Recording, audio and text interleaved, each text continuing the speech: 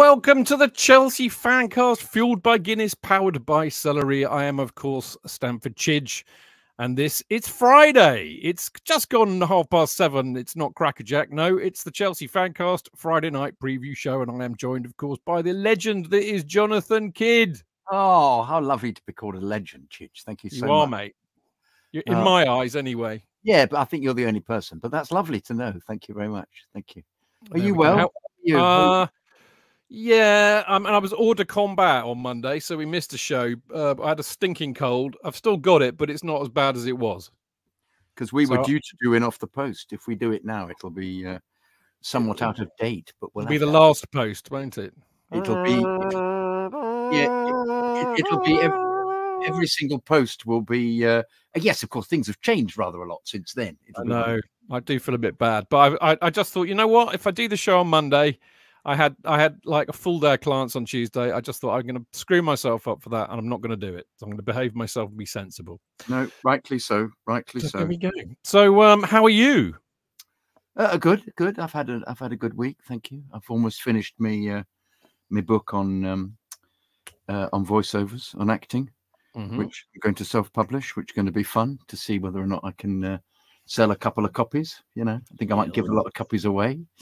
Uh, I need to have a, I'll need to have a um, uh, what do you call them when you you talk about I forgot the name for it a launch. Yeah, a launch. I'll Launch, a book launch. I'll have to give it have to give it a launch. So. Uh, um, uh, I don't know where that's going to be, but anyway, yeah, there are lots of things happening. I've got to do a an audition for a kid show this weekend, which I've no desire to be in, so uh, that's going to be fun.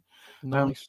But yeah, yeah, looking forward to the game tomorrow. Not having uh, not having to put up, having had to put up with the uh, the madness of the international break, which um, you know, I, I'd say I enjoy watching England play quite competently. I like that because there are a couple of really fantastic players. Foden is a wonderful player.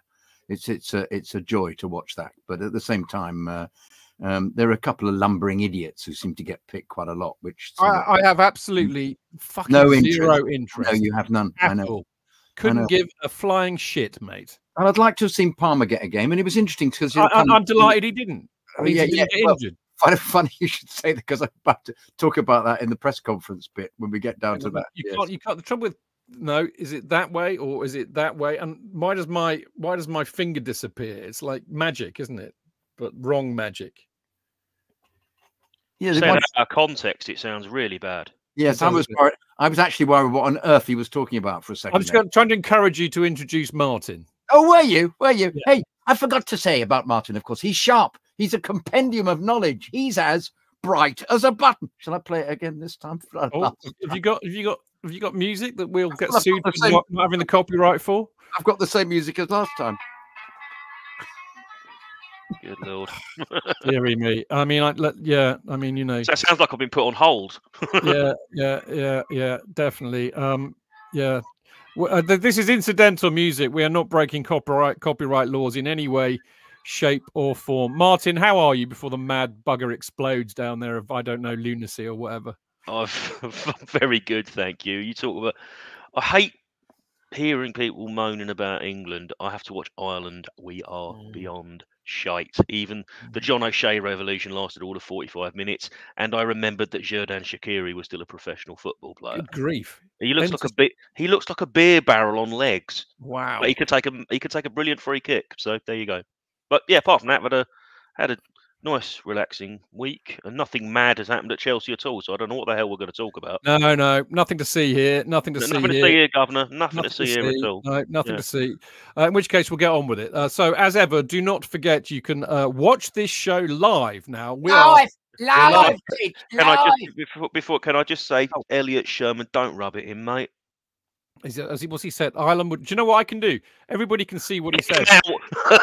Ready? Ready? Look at that! As if by magic. There you go, Martin. You No dirty hiding place now. bastard. Yeah, well, I, was, I had it on the I had it on the comments tab. So yeah, I've, I've I, I'm one of the few people who actually saw Declan Rice play for Ireland live. Yeah. Well, look, Congratulations! you know, on, congratulations on his 53rd international cap yesterday. yeah. Well, listen. Um, for anybody wanting to post uh things on the comments, I now have the. I've figured out how to put them on screen. So you you better be careful what you say. So there you go. That's all I'm saying. Anyway, don't forget you can listen listen to the show live Live. And uh, as well as watching it on Facebook and YouTube at the same time, I think in the old days they used to call this a simulcast. But anyway, uh, yeah, Mixlr's chelsea-fancast.mixlr.com. Uh, it's got a great chat page, as does the YouTube and the Facebook. So if you want to make any comments during the show, uh, we'll try and keep an eye on them. And if they're if they if they amuse me, I will put them on the screen. More to the point, if I remember, I will put them on the screen.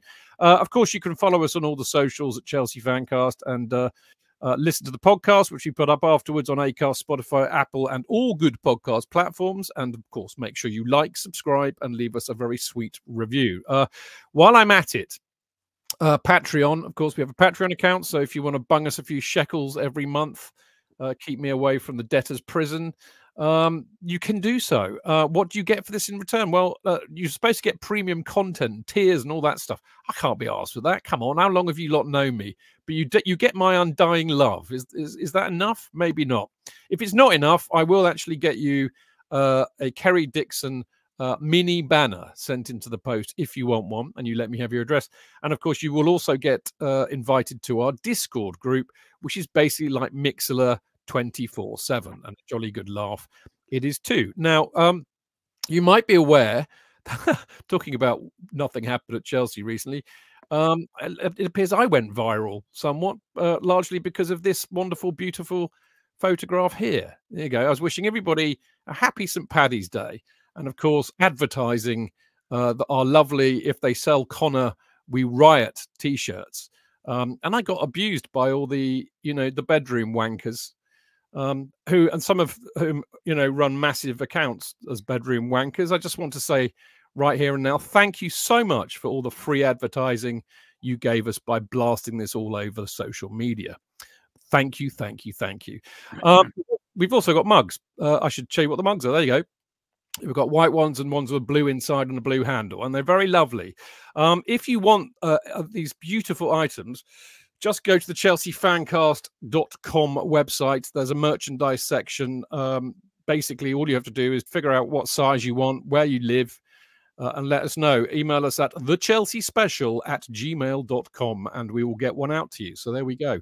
Uh, enough pluggery from me. Um, it is going to be time for us to kick off with the main affair, which, of course, is JK's presser. Oh, oh thrown it upon me, Chidge. I didn't realize it was going to be so soon. Oh my god. You um, really change your background for this bitch, okay? You should actually have the press yeah. conference. I, ha- I have a I have a I have a, a sting for that. I have a sting for that. I'm gonna I'm gonna find it while while you're doing all of that. I'm gonna find it. Yes, okay, rightly so. You're okay. absolutely right, Martin. I will get one and change the background accordingly for the next uh, time I do this. Absolutely correct.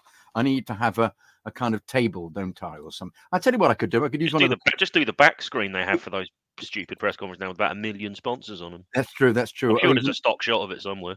I'm get a picture of Potter. That would be quite good, wouldn't it? Behind just me. Position yourself in front of him. Do you like my picture of Costa there? He was about to yawn. Do you see that? Yeah. I've, I've got three more pictures of him yawning after that. All I got was him yawning. It was really annoying. Um, I had my camera with me at. Uh, I just seem to remember the last, the last time he celebrated a league title with a Chelsea shirt. All the players' kids just covered him in the silly string and glitter. Yeah, it was really strange. He was like a... it's happening later on. You're absolutely right. Yeah, yeah, uh, yeah, yeah. Um, uh, oh look, hope you want to might want to touch on Talksport. I think when we were saying nothing had happened in the week, it was it was satire, David. Hope you it might was, want. It was, it was highly sarcastic. views on Chelsea yes. CST letter to the club. I think we will be um, perhaps is, diving is, into that. Yeah, yes. and is David Hurst the former Sheffield? I don't know. Is he? If he is, yes, he must be. If he is, he welcome. Yeah, and if well, he isn't, so welcome what, still. What happened to the? What happened to the presser, J.K.? Oh yeah, Ch- Chidge is pushing me into the presser. Oh, it's just that we got a guest on in 15 minutes, and I know how long your summaries take, mate. Longer than oh, the presser. No, well, I'll, I'll, I'll abridge it, Chidge. I'll be I'll be brief. What's she got to do with it? Abridge it. Oh, uh, Chidge. Oh, Chidge. Wow. I thank you. I thank you. Oh, thank God, I'm going to have to lie down after that. Bloody hell. I'm, I'm here all week. God, bloody hellfire. Okay. Anyway, this press conference started annoyingly because I went onto the Chelsea FC on YouTube with with Poch going, and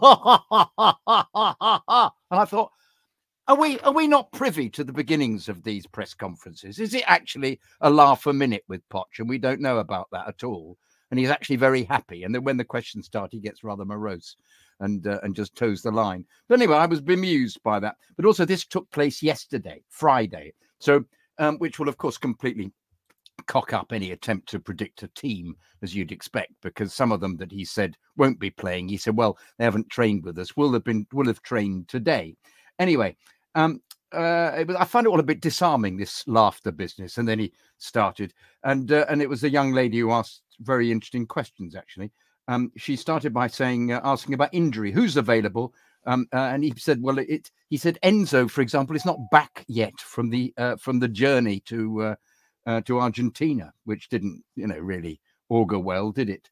Um, and um, uh, and they're having to assess Chilwell, who apparently got another knock. Yeah, he got dead leg. I saw it happen. Yeah, yeah, yeah. So they're not sure whether he'll be playing on Sunday. Yes, but he, she was then asked. They, she He was. seem to impress. Sorry to interrupt. He didn't he seem to didn't do impress that, with do him. that, yeah.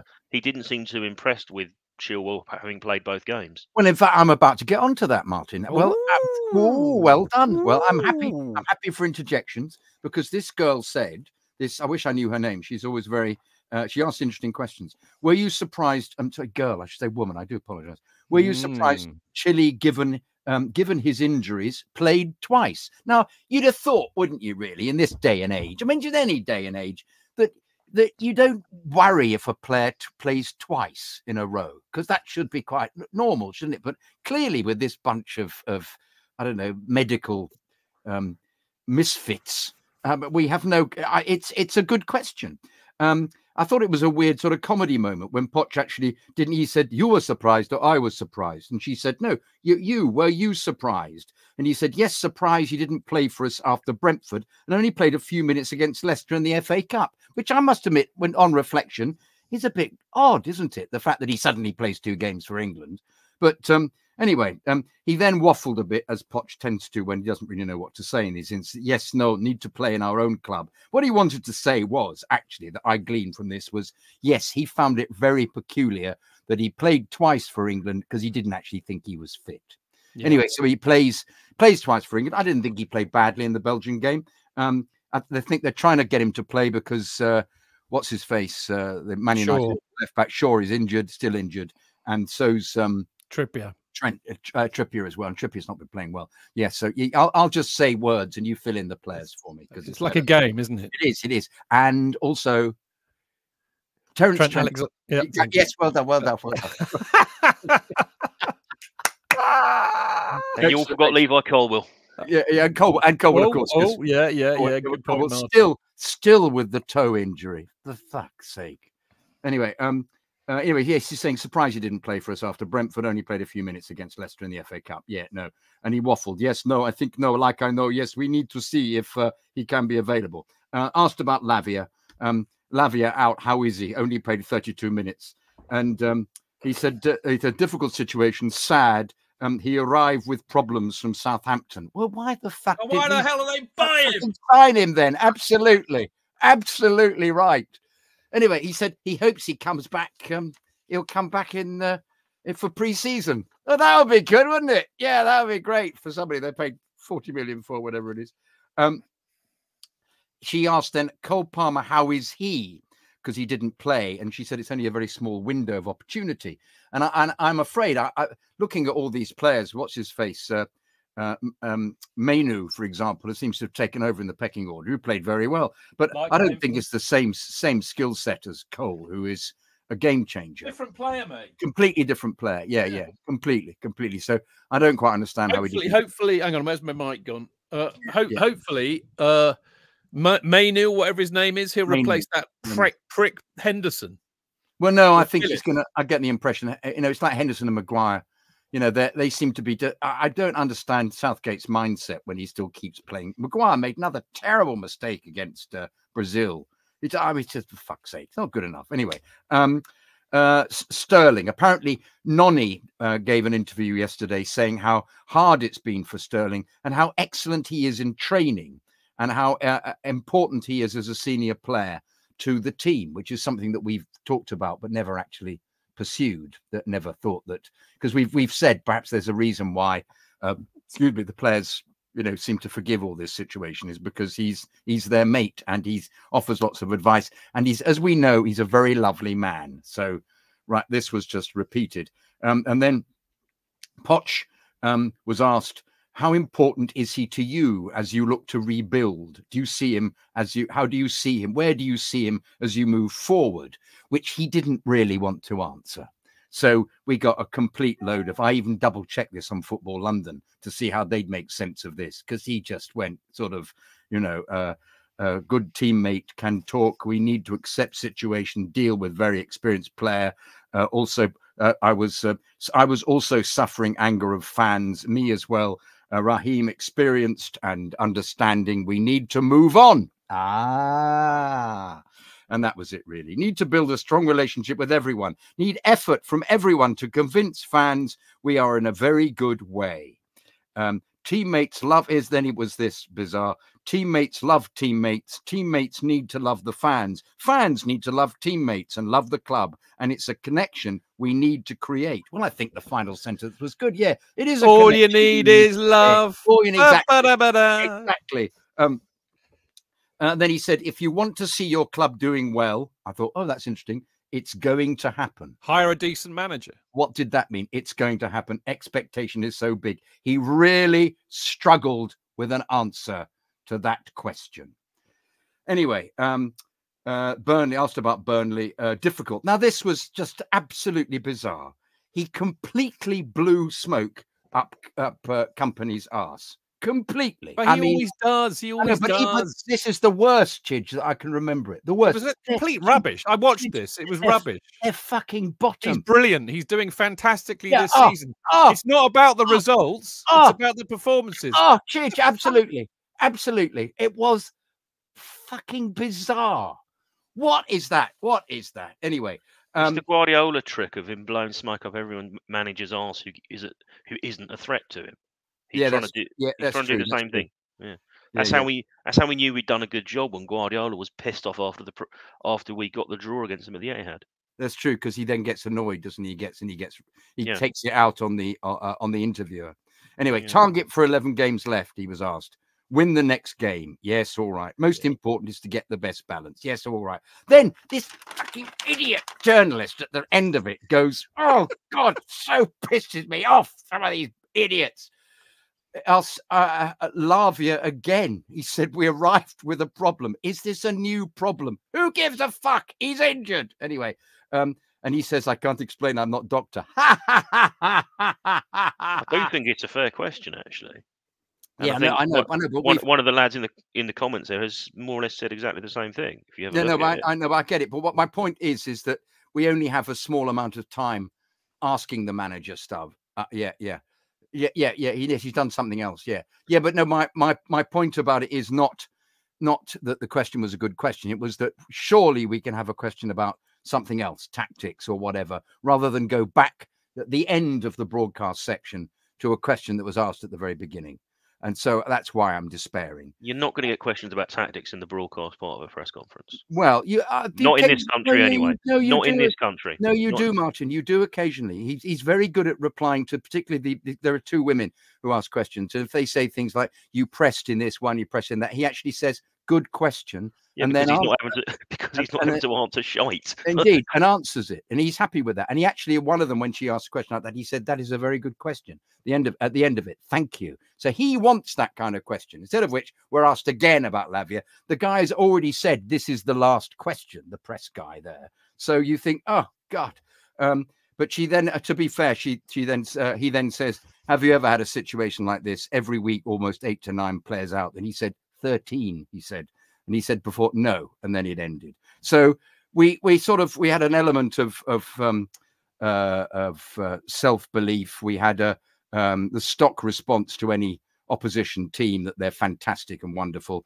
Um, we discussed the fact that Lavia, we've we've we've already established, will be out until uh, he's hoping for a decent preseason, and um, uh, and yeah, so I I just found it it's the usual unsatisfactory press conference where you try and get a little bit out of it, and the odd little bit you get out of it is is uh, it's so pretty meaningless, really. What so. is the point of them? What is yeah, the point of them? I mean, they're they're utterly, utterly pointless. Yeah.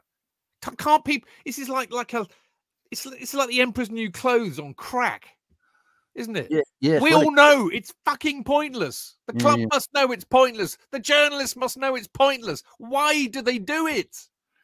Or why don't they do it better?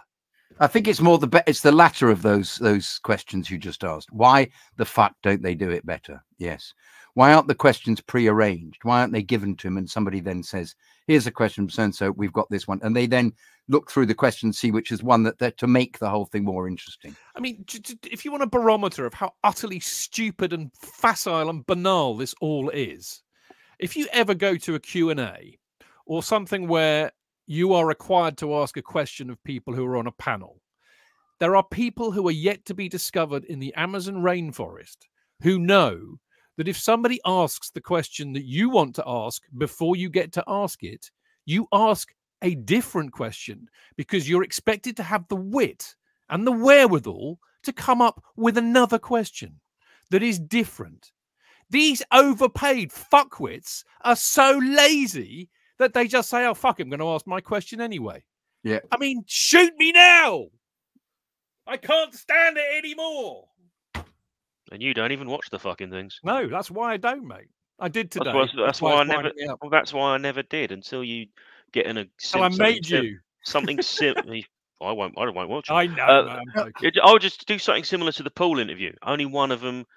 Right, collate the questions. One interviewer. That's it and have someone at the club actually just stopping this bollocks of repeat repetitive questions but also questions that are, are significant you know i mean they, they should almost say uh, at the very beginning uh, injuries we'll talk about that now we'll tell you what the who the people are still injured. And he's always asked he's always asked an opinion he always says i don't know i don't know whether they are we haven't seen them in training as if somehow he's not given ever any any uh, um, information about what the state of these really rather important players are. You think he would know? I find that really absurd. The fact he always says, "I'm not, I don't, I don't know." We haven't seen him, so he well, can't. Next time, have the doctor training. at the fucking press conference. Indeed, but but also, but is this thing of saying, "I don't," uh, um, we, I, he must be injured because I haven't seen him at training. I mean, for fuck's sake, he actually said that today. He must be injured because I haven't seen him at training. Well, well, that's just shit. I mean, you know, you should be interested in the players, Poch. Sorry. No, well, I, I think that's his I, way I of saying I'm not going to say anything. Yeah, I think he's dead batting it. Yeah, I agree with you, Martin. See, and Bob now has asked, "Is Lavia injured?" No, he's not. No, Bob. Bob is. Bob is like. No, I know, know. I know. No, have know. you ever seen? Have you ever seen the Young Ones episode where they get a, vid- a, new video Bob machine? Ultra ironic. I Bob know. is doing the classic. Have we got a video? Yeah, yeah. I know. I know he yes, was. We've got a fucking video. I know he was, but but I was going to answer in a in a in an equally ironic way, but you've ruined the moment. Oh, I'm sorry. I always do this to you, don't I? Yeah. I'm amazed you, you still actually even speak to me. You know? Well, funnily enough, I've been rethinking our relationship. no, don't leave me, JK. Don't leave me. I'll be stranded here like a complete plum. Yeah. Uh, anyway, there we go. Wouldn't be the first time, would it? Uh, anyway, listen. I, you know, I love JK's presses. Um, we will. We are going to pick up actually on on on the newsworthy bits of the news uh, in part three. So, in particular, uh, the injury blight that's affecting us because there's been a lot of hoo ha about that all week as a consequence of uh, Lavia in particular. And um, we will mention uh, things like the Supporters Trust and the FAB. Uh, I've actually I've I've actually titled it because I can lump it into the kind of the atmosphere and what we might expect to see on Saturday. But I've labeled it FAB TB is go because because they used to say that on Thunderbirds, didn't they? FAB yeah. Virgil. It was the call yes, sign. They, they, did. They did. They did. Yeah. So, so it's all very Thunderbirds, isn't it?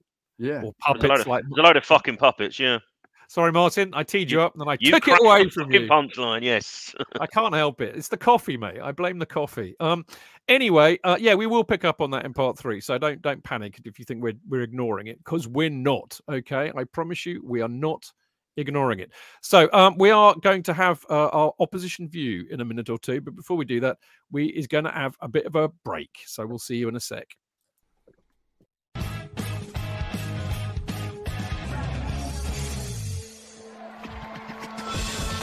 Real fans, real opinions. I'm Jason Cundy and you're listening to Chidge and the boys on the Chelsea Football Fancast. Total nutters and proper Chelsea. Footballfancast.com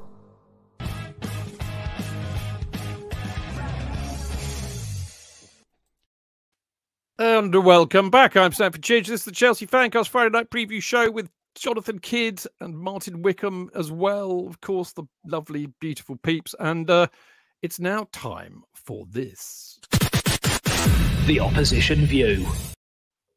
There we go. Blink and you miss it. Unlike this lovely chap who we've got returning to us. It's the uh, lovely Adam Dennett from No Nay Never podcast, Burnley. Lovely to see you again, Adam.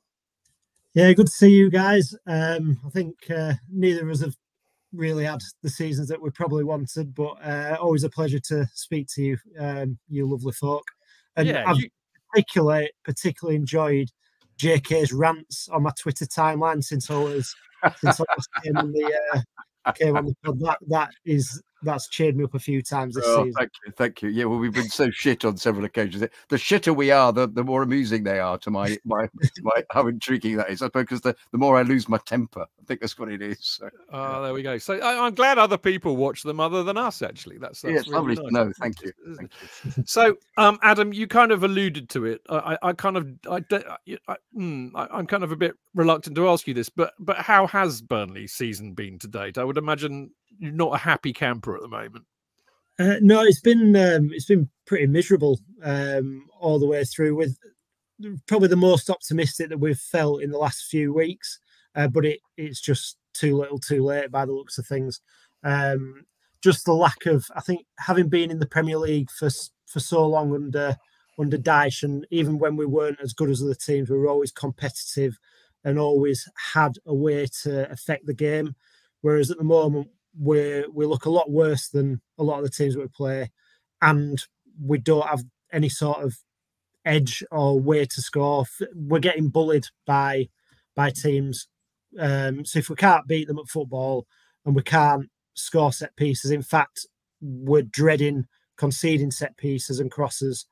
It's just a very strange scenario for a Burnley fan going to a game in the Premier League to be in. Um, and we all thought it were going to be so much better after such a good good season last year. Hmm. It, it's, I mean, the the theory at the beginning, a lot of a lot of outside, you know, people looking in, which is is not always the best thing, really. But they were all saying that Vincent Kompany is a really good guy, tries to play football the right way. You played superb football in getting promoted last year.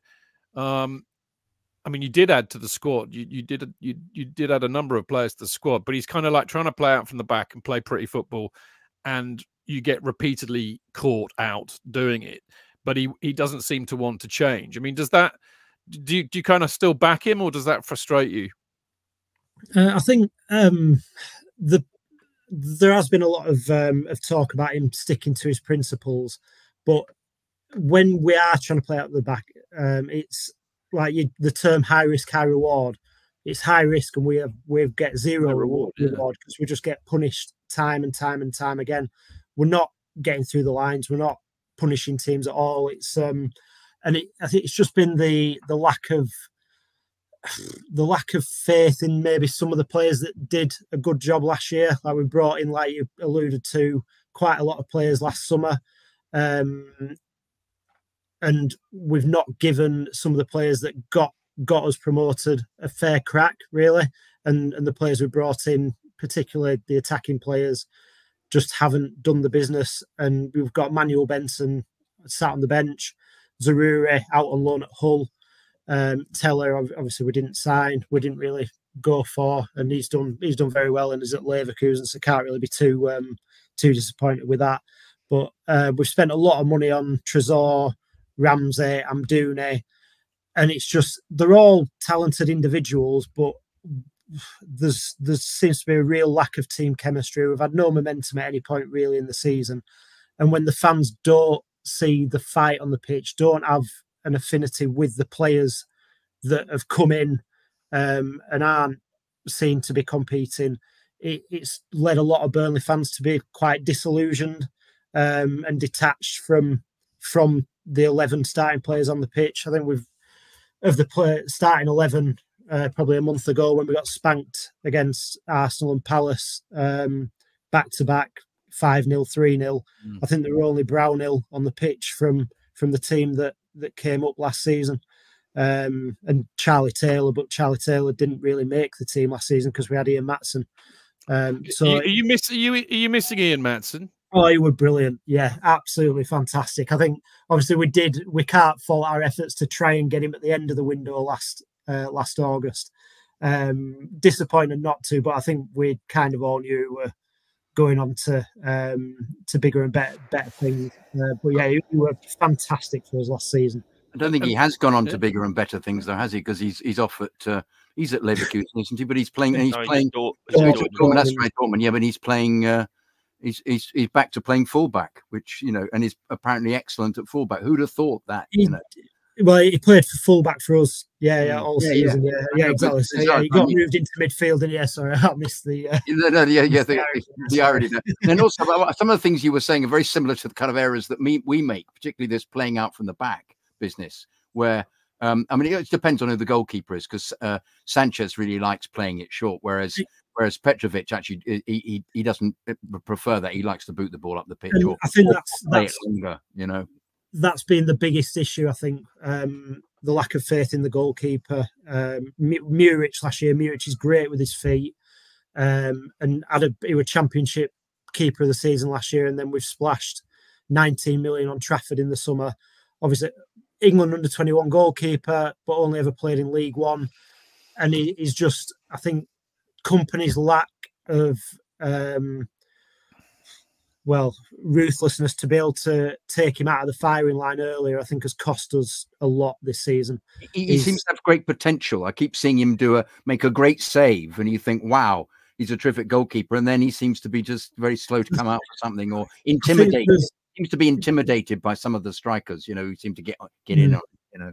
Yeah, sorry. there's there's one there's sorry, yeah, there's there's probably a mistake every week, and you can't do that in the Premier League. No, no. Uh, Are they buying players to a profile as well, Adam? Because a lot of what you sound you've said sounds like what Chelsea have been doing, where players are bought specific to a profile. You've gone up. Ashley Barnes got released now.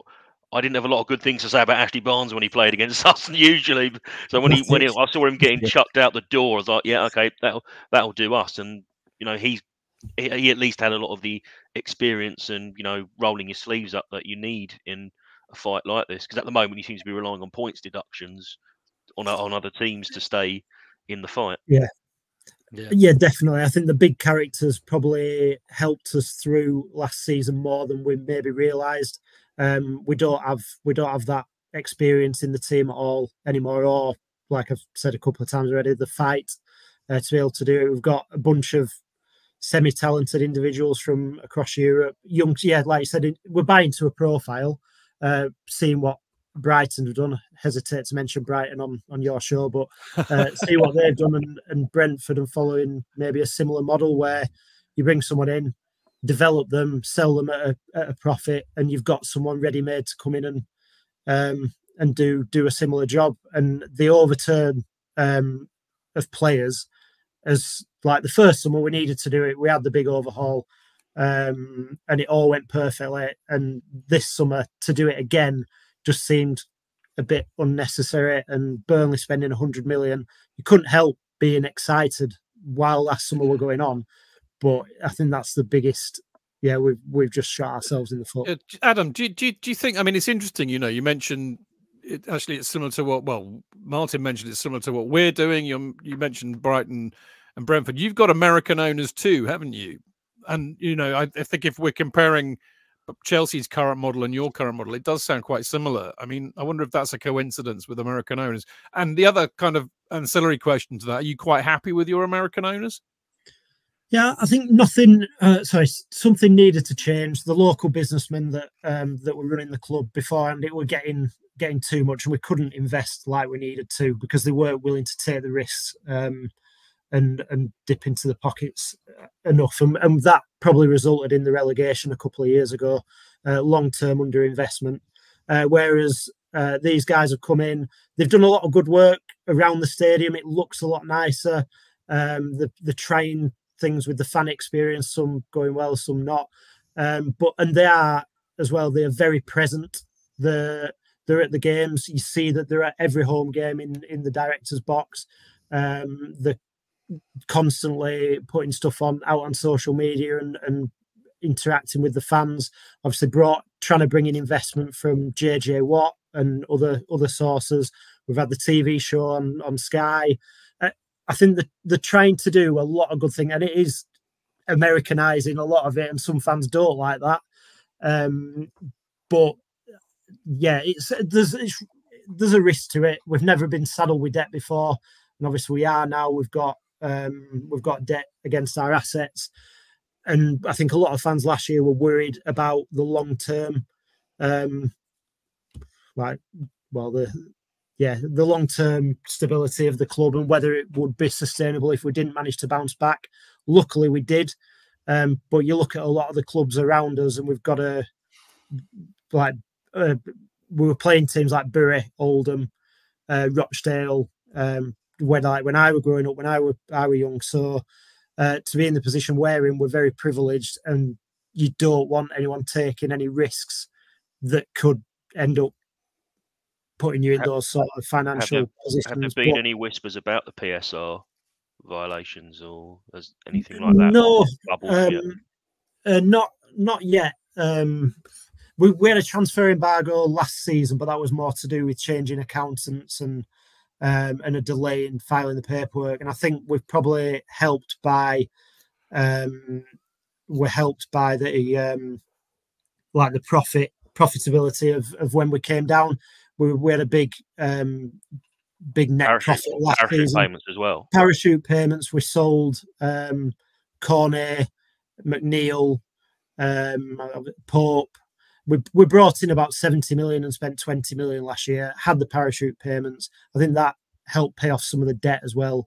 Uh, got a lot of outside investments. They're trying to make Burnley a more more of a European and global brand rather than just being a small small club in Lancashire. So, to be honest, Adam, that that I mean, you know, just to, I don't mean to butt in, but you know, that's Burnley. That's what that's who you are. I mean, you know, I, I said it on because I did a piece for your show uh, last night, and I and I mentioned that at the start how much I enjoyed going up there. You know, in the autumn, not least because the weather was actually like the Caribbean and not I didn't get frostbite for a change. But I mean, it, it, how did you get away with it? Well, well, because I just I don't know, mate. Sheer luck. But you know, when I got there, you, it just says it smells proper old school football club, northern town, one one club town. It's it's proper. It's lovely. It's what English football is all about. You know, I mean, making it into a global European thing. I mean, mm. what is it with Americans? What is it they don't understand about the culture of the game in this country? Yeah, and I think that when we did, um, and I, I, shouldn't harp on about Dyche because those times are gone. It was it was the right time to come to an end, and we needed something something fresh. But that his way what it was a reflection of the town. It was hard work, blood on the shirt. Um, put it up the opposition fans. You go in, make it a, make it a difficult atmosphere. Obviously, not for you guys. You've battered us every time you've come up there for years and years and years, no matter who's in charge.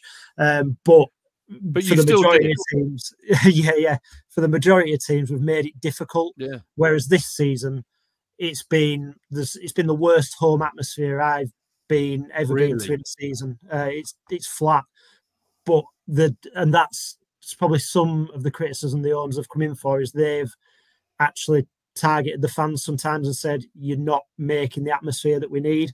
But when we're three 0 down in 20 minutes and just get just getting hammered and there's nothing to shout about on the pitch. It's it, it's, it's just trouble. Been, yeah, and, and it's been like that all all season. Really, it's been it has been really flat, which is sad to see. Really, it's amazing. It's been such an exciting season. Well, yeah, I mean, it's amazing and it's remarkable actually the similarities between what you're saying and as JK said a minute ago, and what we've been saying for so much of the season, you could say the same about the atmosphere at the bridge.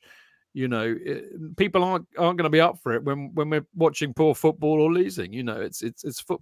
I mean, we're not in. I, I know it used to. Well, I mean, even I mean, J.K. will attest to that as as will I. you know, people seem to think, oh, you know, back in the 70s and the 80s, we, when we were getting hammered 5 0, we were right behind the team. You know, we were really supporting and singing. No, we weren't. We were moaning as much as we do now. You know, this is, this is what football supporters do, isn't it, JK? Well, there were so few of us anyway, because hardly oh, anybody ever hardly anybody ever turned up at the at the bridge. So, well, that's why we all sang to keep warm, really. Yeah, yeah, yeah, and and and and set fires going, didn't we? I, I sent you that because I know that's one of your your favorite games, isn't it? You didn't you write about that in that in uh, in Marco's book?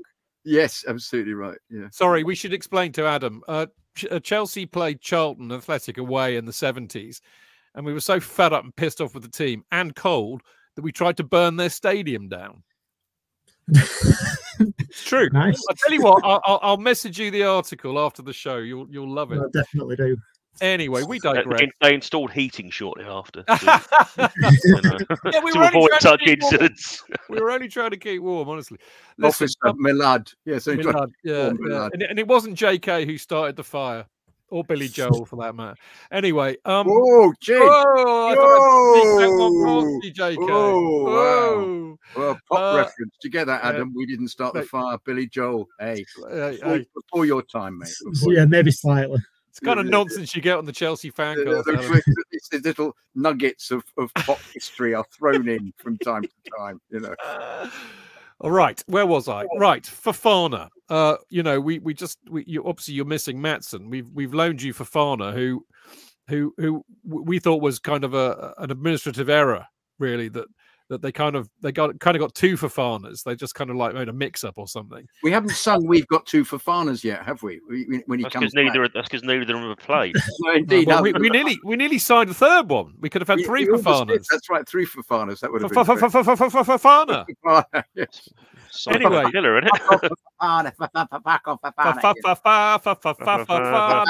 if we don't, if we're not talking singing heads, that, Adam, talking heads. Yeah, you, know that, did you get that not, one? You didn't get that one. Yeah. No, no, I didn't. I know if, what to you. I do, I do know. Sorry. if he comes back, if he comes back next season, if we're not doing, you know, Psycho Killer, fa fa fa fa fa fa fa fa fa, mate, I've just got a new song. Brilliant. I love it when we get a new song. Anyway, um, yeah. Adam, where are we? Fofana, he's done quite well for you. He scored an absolute worldie against West Ham. He scored other goals too. He's looked quite good. We had no idea. Well, we weren't that optimistic when we signed him um, at the end of January, looking at his record. And he came in and his first interview, he said that he wasn't enjoying the Bundesliga because uh, he had to run too much. And we thought, oh, yeah, this is great. We've bemoaned the lack of effort on the pitch all uh, season, and we signed a guy who's openly saying he doesn't doesn't like running. Uh, but he's yeah, no, he's done he's done very well. Sometimes looks a bit like Bambi on the ball. It, it just like bounces off him, and like his first touch can be a bit erratic. But he's got those moments of brilliance that um, that actually gives you a chance. And, and he's come up with those a few times. I don't probably a good summary. I don't know if you saw our highlights against Brentford last week, but he missed from a yard out with an open goal, actually a yard out. Ah, um, then the um, Chelsea striker, Adam. but then scored a lovely finish. It's like, something really, like Jackson. It's Jackson again, isn't it? Yeah. We've got another one. Yeah. Yeah, uh, but yeah, I think he scored. Is it three or four goals? Set set up another couple. Is well, it's a shame that he can't obviously play this weekend for us um, when he's getting into a bit of bit of form. But I think Lyle Foster will come in and um, hopefully, hopefully do a good job. But no, really positive. I don't see how we'll keep him longer term um, with the position that we're going to be in. Um, sounds most likely similar, in the championship next it season. Sounds a bit similar to a player you've loaned out in Michael Obafemi. So, in terms of he could look brilliant one minute and hopeless the next. Yeah, the Obafemi signing were a bit of a bit of a strange one anyway, really. But he's not really played he didn't play much even in the championship. We signed him and we just loaned him, loaned him out at again. Millwall, but, um, I believe. Yeah, yeah, he um, scored scored at Blackburn the other week. That that went down well with Burnley fans. That's the best thing he's done for us. but I, uh, I think, I'm I'm not sure if Fofana will ever make it at, like a team like Chelsea, but he's got he's definitely got something. He's he's yeah. shown flashes of brilliance, and whether you get more of that if he's getting consistent game time, time will tell. He's clearly got the stats, Adam. Somebody somewhere has looked at the stats that he's the player for us for mhm. Chelsea. I had I had them a minute ago. There we go. Here, here are the stats. No, no, wrong one. It, it, it, was all going so beautifully well. I don't know. Oh, here we go. I found it. Right, here we go. That's the stats. Four goals in 596 minutes. Thank you, Elliot. You are you are you are bringing us all down tonight with your acute observations. But it's a goal every two games, Chidge. What's wrong with that? I suppose so. If you look at it like that, you see, there we go. You see, there are statistics, there are lies, damn lies, and then there are statistics. Yeah, exactly. Now, here's a statistic for you, Adam. Do you think uh, you can avoid relegation? I mean, look, uh, Forest got their deduction. You're only what four points away from them now. Yeah. Um, you beat, uh, I think you beat Brentford last week, didn't you? So yeah. Well, not last week, but the last game. Yeah, so last game. Yeah. You've got what 11, 10, 11 games left. What's the chances? Do you think? Yeah, we've got we've got nine left, um, and in any other season we'd be dead and buried. We've mm. lost twenty out of twenty nine games. We've been hopeless, but there is still that hope. I don't. I have I have no idea how we're still in with any sort of chance. I still don't think we'll have anywhere near enough. But with all this going on, if if we can go to if we can go to Stamford Bridge and keep even if even if we put in another positive performance on the back of Brentford and West Ham, that should really help us going into. We've got Wolves at home on Tuesday who are very very much depleted. I think they've only got twelve fit outfield players. Um, Gary O'Neill said today. So a lot of it is right place, right time when you uh, when you play some uh, against some of the other Premier League teams. But say we say we get a point at Stamford Bridge somehow by a miracle, we go on on Tuesday and we've got we've carried that momentum on and we get a result against Wolves, then maybe. But for the last probably since October November, I've not given us any any hope, and that's after going into the season with, like I said, probably the highest expectations uh, of of a Premier League season that I've ever had. Mm. So it's very very up and down. Like you yeah. said, being a football fan's always always fun and games in it. But I, I, I, don't I don't think we'll we'll have enough. All right. So I mean, how, how do you see it, how do you see it going on on Saturday? Um, I think we're we're better defensively than the last time um, we played you. We've um, we've got Cullen and Berge doing a bit more protecting. Hopefully, we've got Beyer coming back into the side. Couple of January signings, um, Esteve, who we obviously call Steve, um, and Assignon and we and Muric came back in last week, which is great, and all the Burnley fans are delighted. But it was just a more of a case of why now? Why, when we're already looking doomed, would you then make the decision when we've been calling for it for months? Um, so, and it's probably too much of a small sample size to see if he will make a difference, especially when it's 2 1 at home to Brentford, clinging on at the end when they had 10 men for 85 minutes. Um, but there's definitely signs was improving defensively. When you came to Turf Moor earlier this season, I think we sat here and I said we're just wide open. We do all right initially, and then teams work us out in the game and and just tear us to shreds. And mm-hmm. Sterling and Palmer that day did, and it, Jackson Jackson came on at half time, completely changed the game. After mm-hmm. I'd sat there and watched him, like you said, not be able to hit a barn door for the 1st mm-hmm. couple of months of the season, he ran as ragged second half that game, and that that were up there with one of the one-sided second halves. Well, forty-five minutes of football I've I've ever seen us at Turf Moor. You could have had a, it could have been any number that that day. Mm-hmm. Um, I, we've been to Liverpool and Man City recently, lost both games three-one. Um, I wouldn't be surprised if it's something similar at the weekend, but I'm hoping we can put up a bit more of a fight than than we did do in the earlier part of the season. Well, you'll never you never know what Chelsea will turn up tomorrow, Adam. So I think your hope is not unfounded. Um, obviously, I hope uh, that we beat you handsomely tomorrow, but I really genuinely hope you guys stay up because I, uh, for some bizarre reason, one of my favourite away trips is is is is a you know a five hour drive up to Burnley, watch us play you, get frostbite, uh, and then drive five hours back. But for some reason, I love it. It's a great town and it's a great football club. It really is. And I really do hope you stay up. So there we go. You have all my best luck for that. Thanks. I think I think I've got more chance of coming on in two years' time than, than next season. But well, um, if but we'll if see. you do go down, you're welcome back. You know that we'll uh, we'll come come and find you when when you come back up. But uh, you know, hopefully we'll see you on here uh, next season. But Adam, you've been brilliant as you always are. Very generous with your time. Thank you for coming on. You've been superb as always. Thank you, Adam from No Nay Never. Cheers, guys. Thank you. Brilliant stuff. There we go. That is the opposition view. There you go. And uh, Adam's off. We're carrying on because we've got uh, more to talk about, actually. Uh, because it's, uh, I thought I'd squeeze it in here because we kind of normally, I'd, I'd, forget otherwise. But of course, Saturday is game time, which means you can get a copy of this. Ta-da! In fact, actually, you probably get uh, April's version uh, tomorrow, I think. Uh, it was deadline last weekend for articles. Um, Martin, guess what the title of my CFC UK article uh, that I wrote last Sunday before the news this week broke and will be in the next edition of CFC UK? I have no idea. The board are bastards. Nope. No. Oh. Injury blight. Oh, oh no. okay.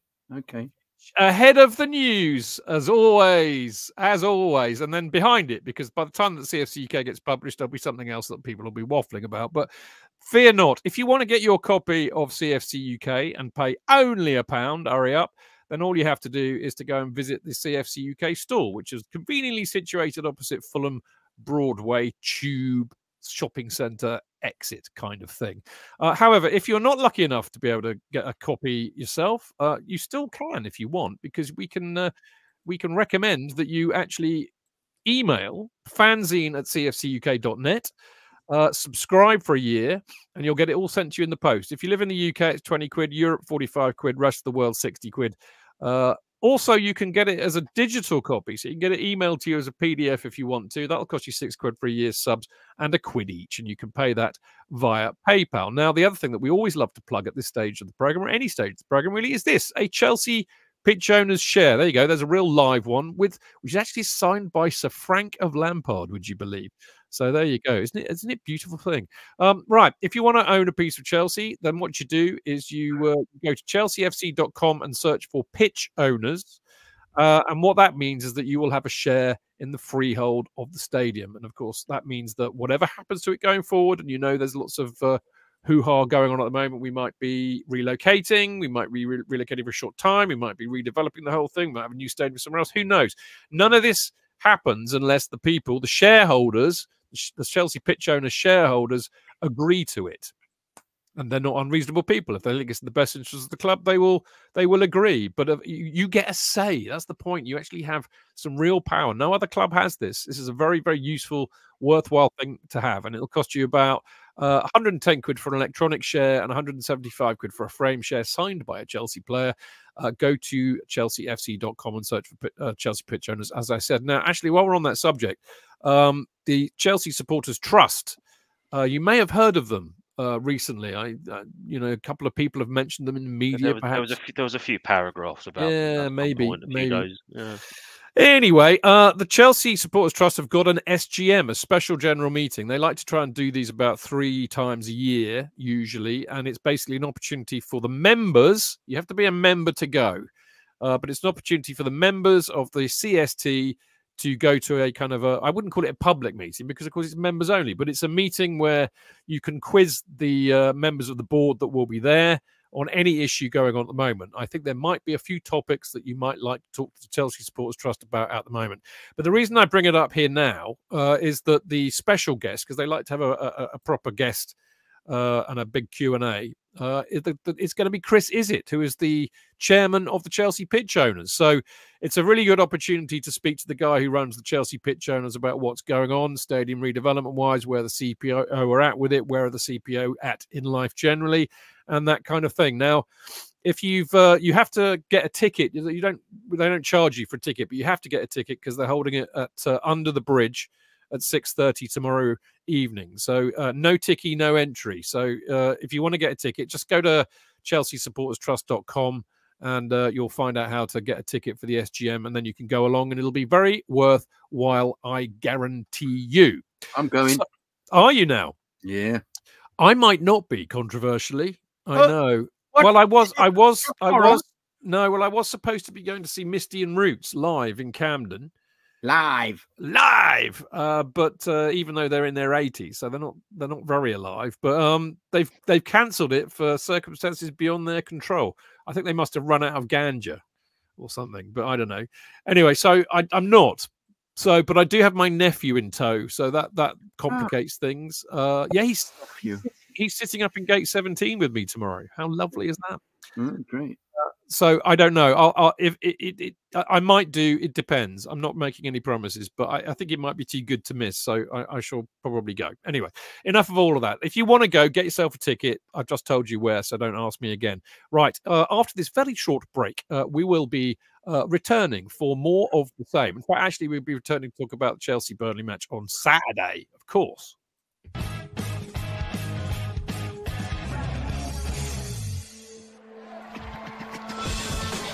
Real fans, real opinions. I'm Jason Cundy, and you're listening to the Chelsea Football Fancast. Up the Chelsea! Footballfancast.com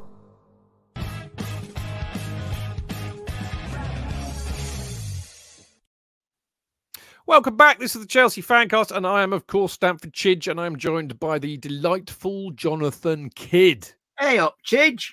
Aye, lad. Icky thump. Aye. Icky thump. Icky thump. Aye, aye. Got. Me, got me whip it out. Aye. Eccles cakes. Aye. Uh, aye. And uh, a man who I know loves an Eccles cake or three, uh, the lovely Martin Wickham. Never ate one in my life. But see, I just knew you were going to say that. you know, I mean, you weren't you weren't with me, were you, when we went up to Burnley? Uh, no, I no, I missed it. Oh, I believe I gave you my ticket, didn't I? You, I it... think actually, no, no. I think I got it. I got it through Neil or Dom. I'm not sure which. Anyway, yeah. what you what you uh what you won't know is that on the way back, I went on a a, a huge search for a genuine Eccles cake to bring back from Burnley because I like an Eccles cake, and uh, I eventually found a spa that was near the pub car park where we all parked, uh, and found that they were selling Eccles cakes, the same Eccles cakes that I can buy in my local supermarket. So I was not very happy. A wasted journey, then, mean, was it? You mean you mean spa as in S P A R rather yeah. than SPA, which is yes. the kind of thing you have in Winchester where you can go and luxuriate. It's not yes. that kind of spa. Yeah. Yes. I just uh, I'd clear that clear that up for anybody not understanding. Okay. Thank you very much for translating, JK. What would I do without you? Yes, it was a supermarket. Uh, so there we go. So I, I didn't have to travel all the way up to Burnley to get genuine Eccles cakes. Uh, I could, uh, you know, because they didn't have any genuine ones. I was very upset. I thought I'd get like huge ones up there, you know, but sadly not. Anyway, um, weirdly enough, there was a genuine Eccles cake seller just outside the ground and I got a couple. Really? You yeah. didn't tell me that when I bumped into you, but then again, I didn't ask you. No, why would I suddenly come up with that? Thought? Well, that's the kind of thing I would do. I would have been so excited about. It. I said, I would have said, JK, JK, guess what? I found. I found a genuine Eccles cake salesperson outside of the ground. So I should have said, Chidge, Chidge, guess what? I've just found. Wow, genuine Eccles cake seller. What, what, ah. what, what, while spitting crumbs at him and yeah, well. yeah, yeah, while eating one. Look what I'm eating. Yeah, yeah. It's I, I brought bought them to take home to my daughter, so that I wasn't going to be eating them. So definitely uh, would have been. Uh, yeah, you'd have been, been, been like being in a snowstorm, but there we go. Right, we all know where where we start with the Chelsea versus Burnley preview. We start with Chidge's team selection. Ooh, ooh, ooh, and here it is, JK. Oh, Chidge. Oh. King of beauty. Chidge have creamy jeans, Chidge. I know, wow. right. Okay, this is my thinking. Um, don't do that. I know. Well, I know Chalobah's definitely out, um, and we we think that there's a doubt with Chilwell. I'm I'm going with the fact that Chilwell will be okay, but if not, we know it'll be Cucurella. So I'm going Chilwell, Badiashile, uh, Petrovic, Disasi, Gusto. Um, I think Enzo won't make the cut because I think Enzo will be a little tired from his trip from South America. So he'll be asleep in his cot somewhere, uh, which means that Gallagher will partner Caicedo uh, in the two in midfield, uh, which makes this very similar to the team that started against Leicester. So I, I hope that Mudryk kind of plays in this number 10 role, not least, well, because I think he's better there for a start. Scored a good goal for Ukraine, didn't he, from a central position. qualified um, them for the Euros. You'd be flying. Yeah, qualified them for the Euros. It also enables Palmer to play on the right, Sterling. I, because I, I mean, I've got Sterling on the left. We all know what we all think about Sterling, but you know, this is Burnley. He scored a couple against them, I think, didn't he? Or he played really well against them up there. So it's you know his kind of level, really, isn't it? He got so, locked for the penalty. He got yeah thrust to the ground. He was excellent against them up there. One of his better. He was. So I, I think he probably will be again uh, on Saturday. So Sterling starts, Palmer on the right, Jackson in the middle, because that's what Poch tends to do. I mean, I, I as you know, I, I would much rather have Jackson uh, on the left, but uh, I don't know who we put in the middle. I mean, you can play Palmer there, but he's no number nine. I mean, I think the reality is is that with those kind of uh, you know one slash three up front, you expect them to be really fluid and to be moving across the pitch all over the place. And we certainly saw them do that against Leicester. So I, I don't think they'll be doing anything different against Burnley. So I, I mean, like you Chukwuemeka's re-injured himself as well, so that removes another option. So well, anyway, you know, for, for, everyone sighing about Sterling being on the team sheet, unfortunately, until the other options are back, what else can we do? Because I agree. I'd certainly have Chukwuemeka and Nkunku in his place, but if they're not available, we can't. There's not much you can do about it. Well, I I, think that uh, Madueke is the natural replacement for Sterling, and uh, you know he, he, scored a cracking goal against Leicester, didn't he? And uh, yeah. I actually like him. I gotta I, say, I like Madueke. He goes forward and he has a crack. I, that's you know, it's good enough for me. I know there are plenty of downsides in his game, but you know that that he'll do for me, Martin. Um, yeah, I've been a little bit more impressed by Carney when he's played, but again, it's been when he's played. It seems like he every time he scores a goal, he gets injured, which is a bit of a worry. Well, I mean, this whole injury thing is is a massive worry, isn't it, J.K.? I mean, it, it was the main focus for the uh, the presser earlier, wasn't it? Understandably, um, precipitated by the news that Lavia is out for the season, having played 35 minutes in one game. I, I actually now will be able to tell my great grandchildren that I was there for the 35 minutes that Lavia played in the season 23 24. Um, feel like that, Alex, just... when feel like when Pato played on loan yeah. for us, and yeah, he, yeah. he, he was on. I think he was signed in August, didn't turn up till April, and when he finally made his debut, it was away at Villa Park, I believe, and the first thing that got sung was "We forgot that you were here." so um, uh, I, have just had a brilliant. This is without doubt the uh, the question of the day or the comment of the day so far from Sherry. I like an Eccles cake, but dare I say I prefer a Chorley cake. I hope this doesn't significantly affect the Burnley lineup. you see that Sherry, that is my kind of question, and JK's by the sound of his laughing in the background. Well, I don't know. A ch- I don't think I've ever had a Chorley cake. I'm, I'm actually quite intrigued. You have to, uh, Cherry, let me know what a Chorley cake is. It sounds intriguing. Um, may I just say how fantastic is to is to see Sherry is listening to the uh, to the podcast. Oh, you know Sherry? I do very well. Oh, we're not we're not not very well, but well, very well. That's I attended, lovely. Attended her birthday party recently. Ah, there we go. There we go. Well, nice to have you uh, joining us tonight, Sherry, as well. So, um, yeah, this whole injury thing. I mean, you know, funny enough, as I said, it is rather serendipitous. I did ping an article about it, which um, was along the lines of, you know, this is not just a Chelsea problem. I mean, if you, I look down the list and um, we're about average at the moment, although I suspect that average has gone up because of the latest injury issues we've had this week. But uh, we were about mid-table in terms of injuries, although we were right up the top for most of the season. Liverpool have got more than us. Uh, somebody Luton have got 12 out injured at the moment. Um, but it's it seems Newcastle to be fairly, have had heaps of them as well. Yeah, they're they're in double figures, I think. But I mean, it seems to be fairly universal, and we've talked about it on the show before. Is it the boots? Is it the pitches? You know, have they got this synthetic stuff in the pitches which you know catches people's ankles and knees and causes ligament damage? Is it is it that they're training too hard? Is it that they're not fit enough anyway? Is it too many games? Nobody seems to know the answer. I think it was a bit of a shame, J.K., that uh, you know, when Lavia got injured, and perhaps an indictment of, of where we are at the moment uh, psychologically with the club. But everybody went, well, it's the bloody Pochettino, it's the bloody club, you know, the bloody medical department. Everybody was very quick to, to blame well, that. But he, he actually made a little reference to that. I didn't mention it, saying, Did he? You know, yeah, he said it's it's not. He said, "Don't try and say it's my fault." He said and laughed.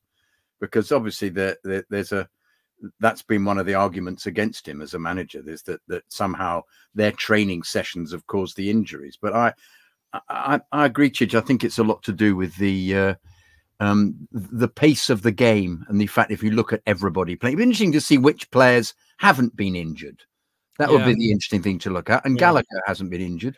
Caicedo, Caicedo seems to be Caicedo similarly I, very competent I, despite all the the kicking he gets and the the physical activity he hasn't been who else hasn't been injured? Well i can if you wait for one, one minute i can tell you because i actually put this in me article uh, which i'm now desperately trying to find and have done so and i i wrote this list down.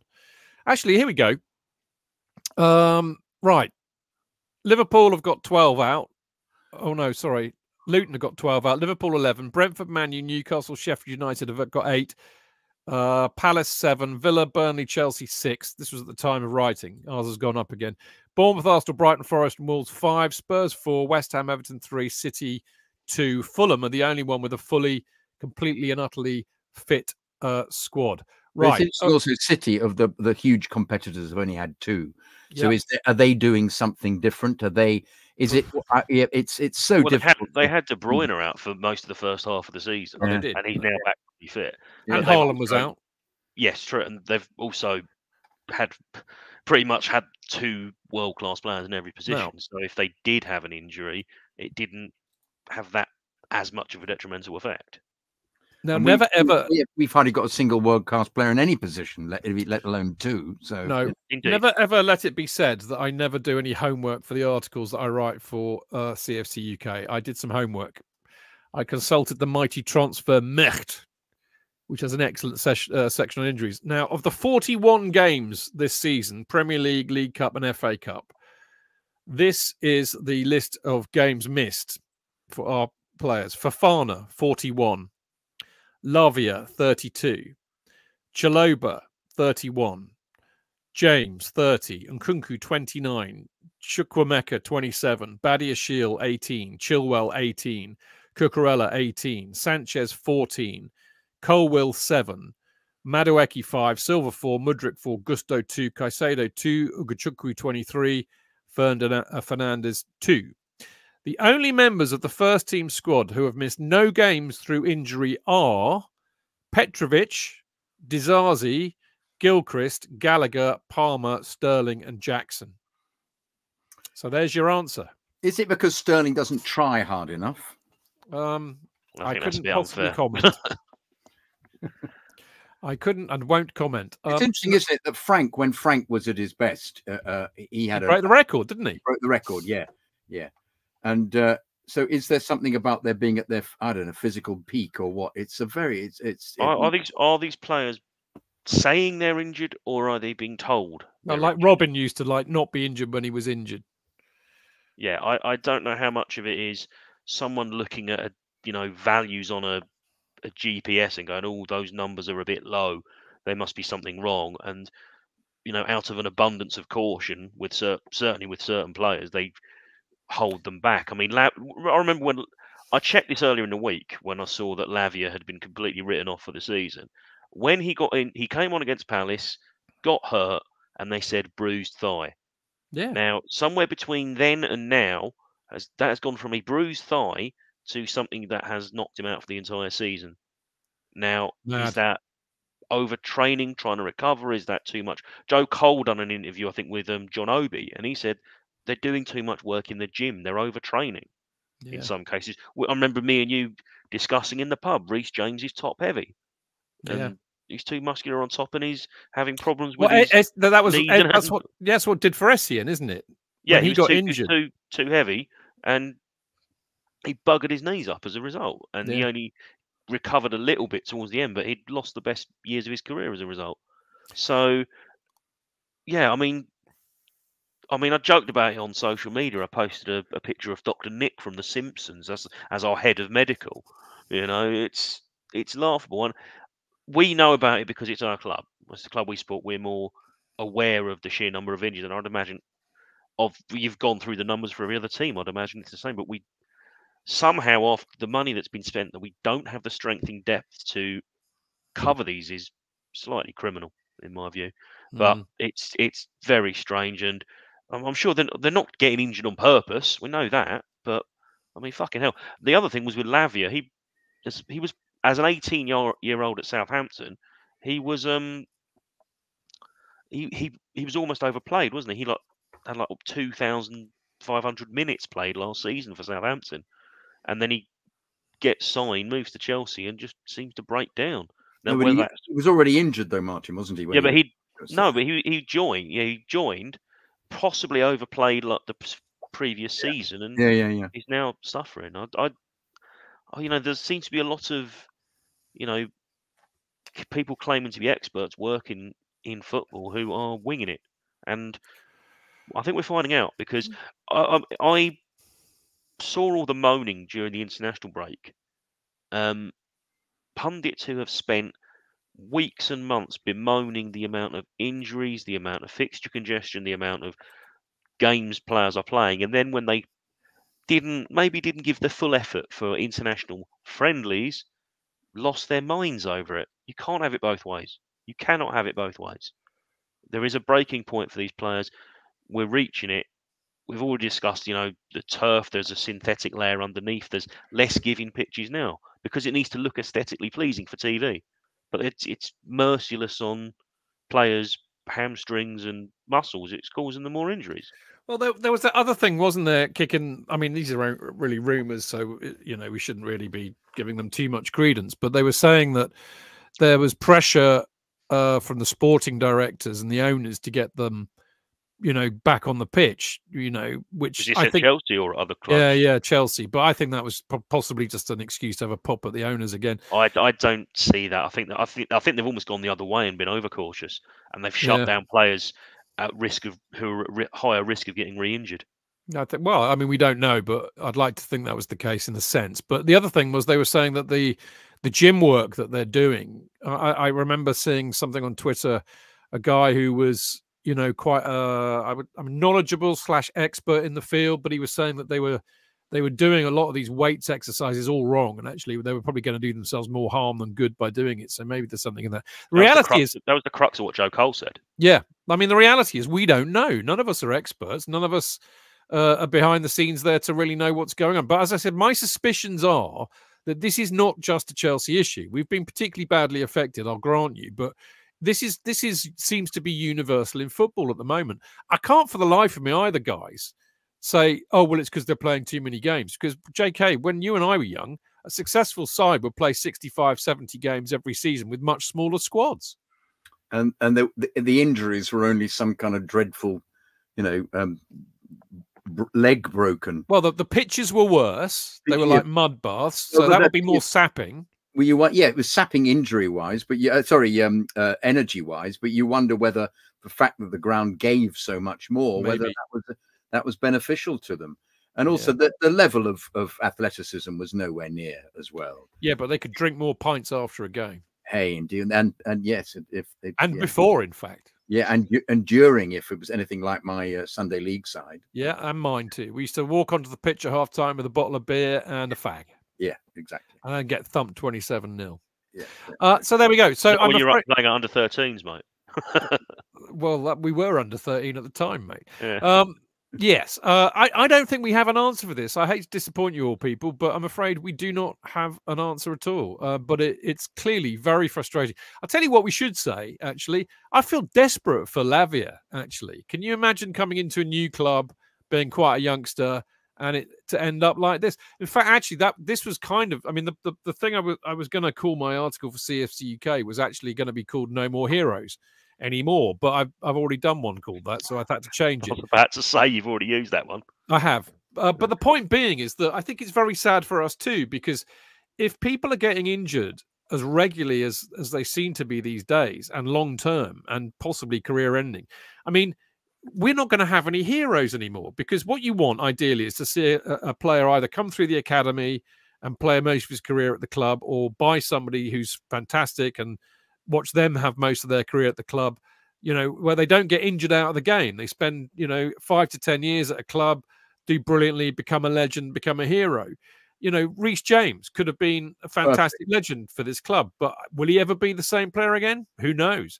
Ben Chilwell. Uh, he hasn't looked the same player since he came back from injury. He could have been a legend at this club. And then there are probably a lot of others that, that we've got at the moment that we will never know. And mm, I just think it's sad for supporters that we won't get to see these players to develop and become legends. Eden Hazard retiring at 33 is a case in point. Yeah, and I mean to be selfish about it, at least we saw the best of him. Indeed, but he he just said, "Nah, that's it. I can't I can't do this anymore." I think you'll get that in. You that's what may happen. You will get players retiring sooner, like you say, yeah. no more heroes. You don't have players, you know, dropping down the leagues. They just said, well, "I can't take it anymore. I'm done," and packing the game in much sooner. Similar, similar to what you've had in American football when they became more aware of the concussion risk and they started packing in much sooner. The I'm just about to comment on that one. The uh, the uh, Loftus Cheek and Pulisic not injured for Milan, but you have to uh, uh, appreciate that the standard and level is nowhere near the Premier League at all. Nowhere. I'd, I'd be a bit more charitable. I'd say the game's a bit more tactical and considered, and it's helped them. And I am pretty sure I've seen Pulisic has been um, ruled out a few times. And Loftus Cheek, it wasn't he was constantly injured. He just got one really, really, really, really bad injury, and it completely yeah. fucked him. And he got that in a bloody friendly on a shit pitch. On an artificial pitch. To at least yeah. three of them this summer. Yeah, they've got yeah, them in, in the summer, haven't they? Exactly. Yeah. on artificial, uh, artificial. They're playing. Yeah, they're playing at um, Notre Dame, so which is an artificial pitch. So you know what could possibly go fucking wrong. Indeed.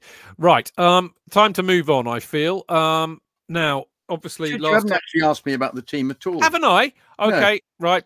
Okay, no. ready? One, two, three. You, you, asked Martin, and I just. Uh, oh, sorry, I, I, was given. No, I, no, I, was pushed into the background there, and, and, Martin was very, very competent and spoke well about it. But I've had no opportunity what is it? to say anything. So. Cry more, mate! I've put it up on screen for you. What more? Oh, you are a.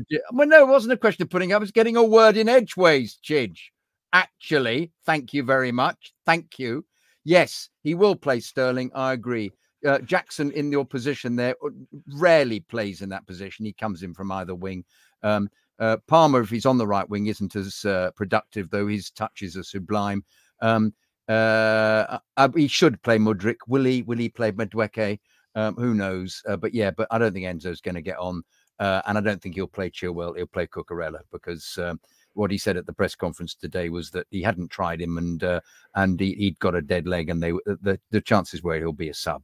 So uh, yes, Gusto and it would be Badiashile and Disasi and um and Gusto. Let's hope he plays because he's been fantastic the last yeah, few yeah. games. And we've only and in in eight games we've only lost once, and that was in the um uh in at Wembley against mm. Liverpool. So you know, but as always, Chidge, who knows? Who knows what is going to happen? We can't say. We have no idea. Thank you. Right. Okay. My apologies. I'll it's do okay. better next I'm time. Getting, I'm getting used to it, Chidge. I'm getting oh, used oh, to it. Oh, that hurts. That hurts. Uh, right. Okay. bills for no apparent reason whatsoever. No? Oh, okay. Yes. Okay. enough. Enough. Uh, right. Listen. Um, last time we were were at the bridge, it all got a bit. Uh, I mean, I think toxic's too strong a word. I've been at the ground where it's really been toxic. I don't think this was that toxic, but uh, we did get a you don't know what you're doing. Uh, Sterling got a lot of booing, which was very unseemly, really. But I mean, I wouldn't tell anybody what to do at a football ground. It's up to them. But uh, I choose not to boo. Um, I choose to say nothing. Um, but yeah, it was rum. There were, a lot of rumblings going on. There's no doubt about it. And um, very shortly afterwards, uh, the Chelsea Supporters Trust either JK's turned into D uh, Diego Costa. No, it's really JK. Yeah, shortly afterwards, the Supporters Trust uh, got in touch with the club because you know they they they know they they're, they're a good uh, barometer of uh, of supporter feeling. It being that they represent supporters, and they sent uh, a letter to the ownership to say, look, you know, I mean, really, I mean, this is the reason I'm bringing this up because I think that this this entire statement has been deliberately misinterpreted and misrepresented and misunderstood by people in the media predominantly and fans who want to believe one thing and also owners who want to believe one thing. But really the tenet of the of, of the statement was that guys you know there's a pretty toxic atmosphere brewing amongst the support here. It would be a really good idea if you actually communicated to the wider supporter base rather than just the FAB, the fans forum, and the supporter groups what your plans are, what you think of it all, what you're going to do going forward. Because supporters are being basically, if you've ever heard the old expression, we're all in the mushroom shed. So we're being fed shit and kept in the dark. And that's how a lot of people feel. So they were, I think, entirely reasonable to be able to say, look, guys, we're happy to work with you to think about how you can communicate what your plans are for this football club because people are not happy. Of course, that got. I mean, there was a, a few kind of fairly uh, dramatic phrases in the in the statement, of course, and that's what got picked up on. And it was all like supporters trust are bashing the club and being disloyal and la la la la. And then you get the football uh, fan advisory board or FAB, Virgil. FAB. FAB weighing in, um, saying we don't recognise this, which I've got to say is nonsense. so I'm sorry, but it is. And actually, all the things that the FAB complained about, the trust statement acknowledged that they were doing and applauding. I mean, this is the thing: the trust will call it as it sees it.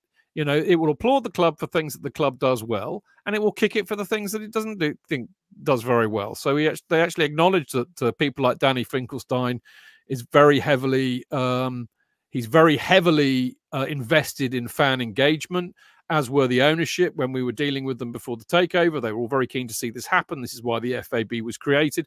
We know Danny does a great job and tries his hardest, but it wasn't. It, the point was it, it needs to be more than Danny. It needs to be the whole board, and we need to hear from them. We need to hear them speak.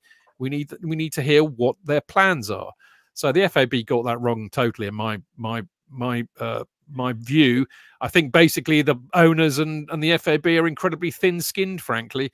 So this is where we are. Uh, this is my two pennants worth. What say you, boys? It smacked of uh, an attempt to set supporters against the uh, supporters trust. I'm afraid, via their statement. I, I, I thought it was awful. That backfired somewhat, didn't it? Yeah. Well, no. It's in some instances you get some idiots on social media are now questioning the uh, the supporters trust which uh, uh, if it succeeded to that extent, you've got a lot of people. Um, well, I suppose from a positive point of view, you you've some people who weren't aware of the fact are now aware of the supporters trust and the the FAB at the same time. But uh, I I thought it was it was calculated by the club actually to um, to create division. That was the impression I got from it. Uh, if, if people don't actually look at what both statements were, they're just making assumptions they were i found them being uh, i found it very divisive well i mean obviously i'm very close to this because i'm on the board of the supporters trust and i do know a lot of things that i you know as as jose mourinho once said if i speak i'm in trouble. I so really I, prefer not to speak. I have to i have to be very careful with what i say. But um i think just my view on what happened as a consequence was that actually you know, I think there was there were inevitably some people who thought the statement by the trust was too strong and were not happy with the trust. I thought most people were happy, and then when the FAB made their statement, people stopped being unhappy with the trust and were pretty much four square behind the trust and very unhappy with the FAB. That's just my view, you know. Um, you know, I mean, other people are entitled to their own. You know, I mean, the thing, I mean, Neil's point here, which is a really good point, actually. Uh, Right there you go. I think the, the CST should have made the statement pro to. Yeah, I, I, hear I hear what you say, Neil. I mean, the point is is that you know the trust is, yeah, that's a fairly that's a fairly good point. I mean, you know, our feeling is is that if we don't feel we're getting listened to or heard, um, then uh, um, you know we we feel that we we need to make it more public because that's the only way we can gain, you know, a response usually. And I mean, it worked. Uh, well, it did work, didn't it? I mean, we also are responsible to our membership. We could have just sent it to them, I suppose. That would have been one way of doing it. But we, you know, we felt something needed to change. I mean, the reality is, Neil, is that the supporters just want to work with the club. We want to work with them to make things better. We're, I mean, there's a brilliant article written by the Score. Would you believe in Simon Phillips's kind of thing that he does?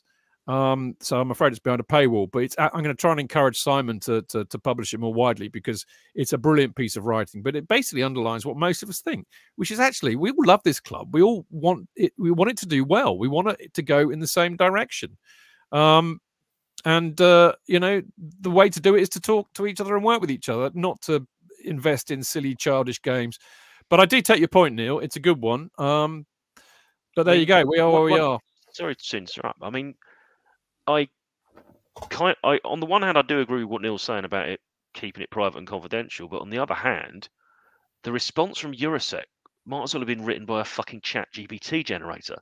It was so lacking in any it, was generated by AI, and it was so poor, tone deaf, and um, and lacking in any type of um, sympathy with what they were saying that I almost think it was the trust duty to publicise it a bit more widely. I generally agree with the trust views on the ownership. My dif- my disagreement would be an approach. I would have gone a lot more aggressive sooner, but that you know my my views on the ownership are are what they are. I understand why they would need to build a bridge. I personally think that you know they need to be met halfway, and thus far there's no real effort to um, to do that. And the point they were making, which everyone seemed to miss, and which I think is valid, because they're not speaking in public, they seem to be communicating via rumor. In the absence of anything concrete, you just get a load of bullshit, and you get you know second-hand briefings to favor journalists about what they're doing the stuff about it how it's commercially deficient the bullshit with the sponsorship which was just amateur hour. And you know i get shit on social media because i question it and i look at these people replying to me and thinking if you want to stick your head in the sand you do so. I will criticize them and i will continue to do so. And that is that is me as that is me as someone who has a bit more than a bit more than the on pitch um, outcomes at Chelsea at hand. I think financially there are all sorts of fucking bombs due to go off. Mm. I hmm. can't see how they've not violated profits well, and sustainability. Oh, oh, oh, yeah, but we this is the problem, Martin, isn't it? We're living in in in the mushroom shed because we don't know. So when you don't know, you fill in the vacuum. And well, that's ex- that, exactly that's what's happened. You just you just yeah. crystallized it. But in the in the absence of anything, uh, stuff's been put in there to fill the vacuum. So a guy who, who was involved in I can't remember the guy's name, but he's on Talk Sport a lot, and he just says every club's fucked on PSR, and he's able to get away with saying on you know Chelsea could get thrown out of the Premier League. Somebody, I can't I, I can't remember the the guy's name, mm. but he he's able to say there's a risk of them getting thrown out of the league, and because nothing's been said back, something has to it fills airtime. So. Mm then they're not helping themselves, and they are. Yeah, they are. You know, I don't find it a surprise that an ownership that was installed by Rishi Sunak has the same characteristics as Rishi Sunak, i.e., well, being as tetchy as fuck every time they're given even the mildest of criticism. Yeah, I, I think they're very thin-skinned. I mean, it, it, amazes me because actually, on two counts. One is that actually their their strategy is, is exactly the same as the previous ownership who used to brief selected journalists and communicate with the supporters all the time by doing that, and it was all and a load of bullshit. This time they've just used different journalists, and Matt Law's well, got his knickers in a twist. Exactly that. You know, all we're saying is talk to us. If if you are if you run a PLC company, it is enshrined in company law that you have a shareholders meeting. And then the board of directors have to be accountable to the shareholders and talk to them. Now, okay, we're not a PLC and we are not technically shareholders, but we might as well be. I mean, you know, we spend an awful lot of money at this club. We're hugely emotionally invested in it. The least they could do is talk to us in in an organized platform forum, face to face, mano a mano. They need, we know, talk to us. Tell us. It's all we're asking. Talk to us. Tell us what you're planning. We want it to go well. None of us want this club to go down the shitter. None of this want this club to to play, you know, to be uh, performing badly on the pitch. We want the club to be successful. We want the same thing but you're the ones that can make it happen. So tell us how you're going to. That's all the that's all the trust we're saying, really. And I think most supporters would agree with that, would they not, JK? I mean, is that not unreasonable? Of, of course, that's exactly what you you would hope would happen. But they, they don't need to say anything, do they? They so, don't have to say anything. Yeah, they don't. Yeah, well, same, same thing. Yeah, same thing. Yeah, I think yeah. it's so, in their interest now to do so. Yeah, completely. But I, I, I'm I'm badgering. Perhaps they thought this was it. You know, they they put out um, a, a, complaint from from. Did they you have to sign an NDA for anything to come out from the F? Well, F- I mean, okay, just just to tell you about the FAB, how yeah. ridiculous it is. I mean, you've got. Yeah. You've got people who were elected on there. You've got people who are a legacy from the previous incarnation, which was actually started under the previous ownership. You've got people on there who uh, they've got a fans forum representative, so he's on there because he was on the fans forum. Don't get me started on the fans forum. You've got Tracy Brown on there because she's the diversity uh, representative. So you've got people who re represent various groups. Neil Beard is supposed to represent the supporter groups, including the Supporters Trust. So you've got a mixed match of people on there. But yeah, they're all. I mean, and they're supposed to operate effectively, almost like a shadow board. So they they they are they are there to help the club uh, make decisions that affect supporters effectively. They don't have anything to do with on on pitch matters. Of course, you know one one delegates that to the club. Of course, one does. But they are, you're right. They're, they're subject to NDAs and they can't fucking tell anybody anything. So that makes them completely, therefore, unrepresentative, doesn't it? Absolutely unrepresentative. Absolutely. It's, it's a it's it's, just a complete, sham, complete sham, and it's it's ridiculous. Absolutely right. It's ridiculous. You know, I mean, one thing, uh, you know, and I, I will say this as somebody who's been on the Sports Trust from its inception, is that we have always religiously been uh, uh, very, very, very, very, you know, very strong on the fact that we are there to represent our members. And I can tell you, I won't tell you what they are, but I can remember many times when I was chairman and when I've been on the board that the membership have wanted us to go one way in a way that I have completely and utterly disagree with personally. But it's my responsibility and duty to go the way the membership wants it. That's called representative democracy. And that's the point of the trust. So there you go. Right, before I bore everybody stupid and they all go and watch. No, London, we haven't been London boring. Is, well, no, okay. no. All right, uh, should we talk about the football again? Yes. No, no, no. Oh yeah. No, yeah. I, don't want to depress myself. Can we talk about the board CST again?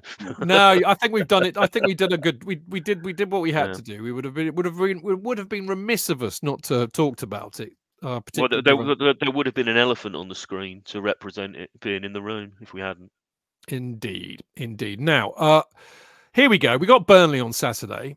Uh, as always, we have no idea what what Chelsea will turn up. I have to say, what worries me most is the fact that they've just had this international break, and I don't know why. But in my head, when they come back from an international break, they're just not on it.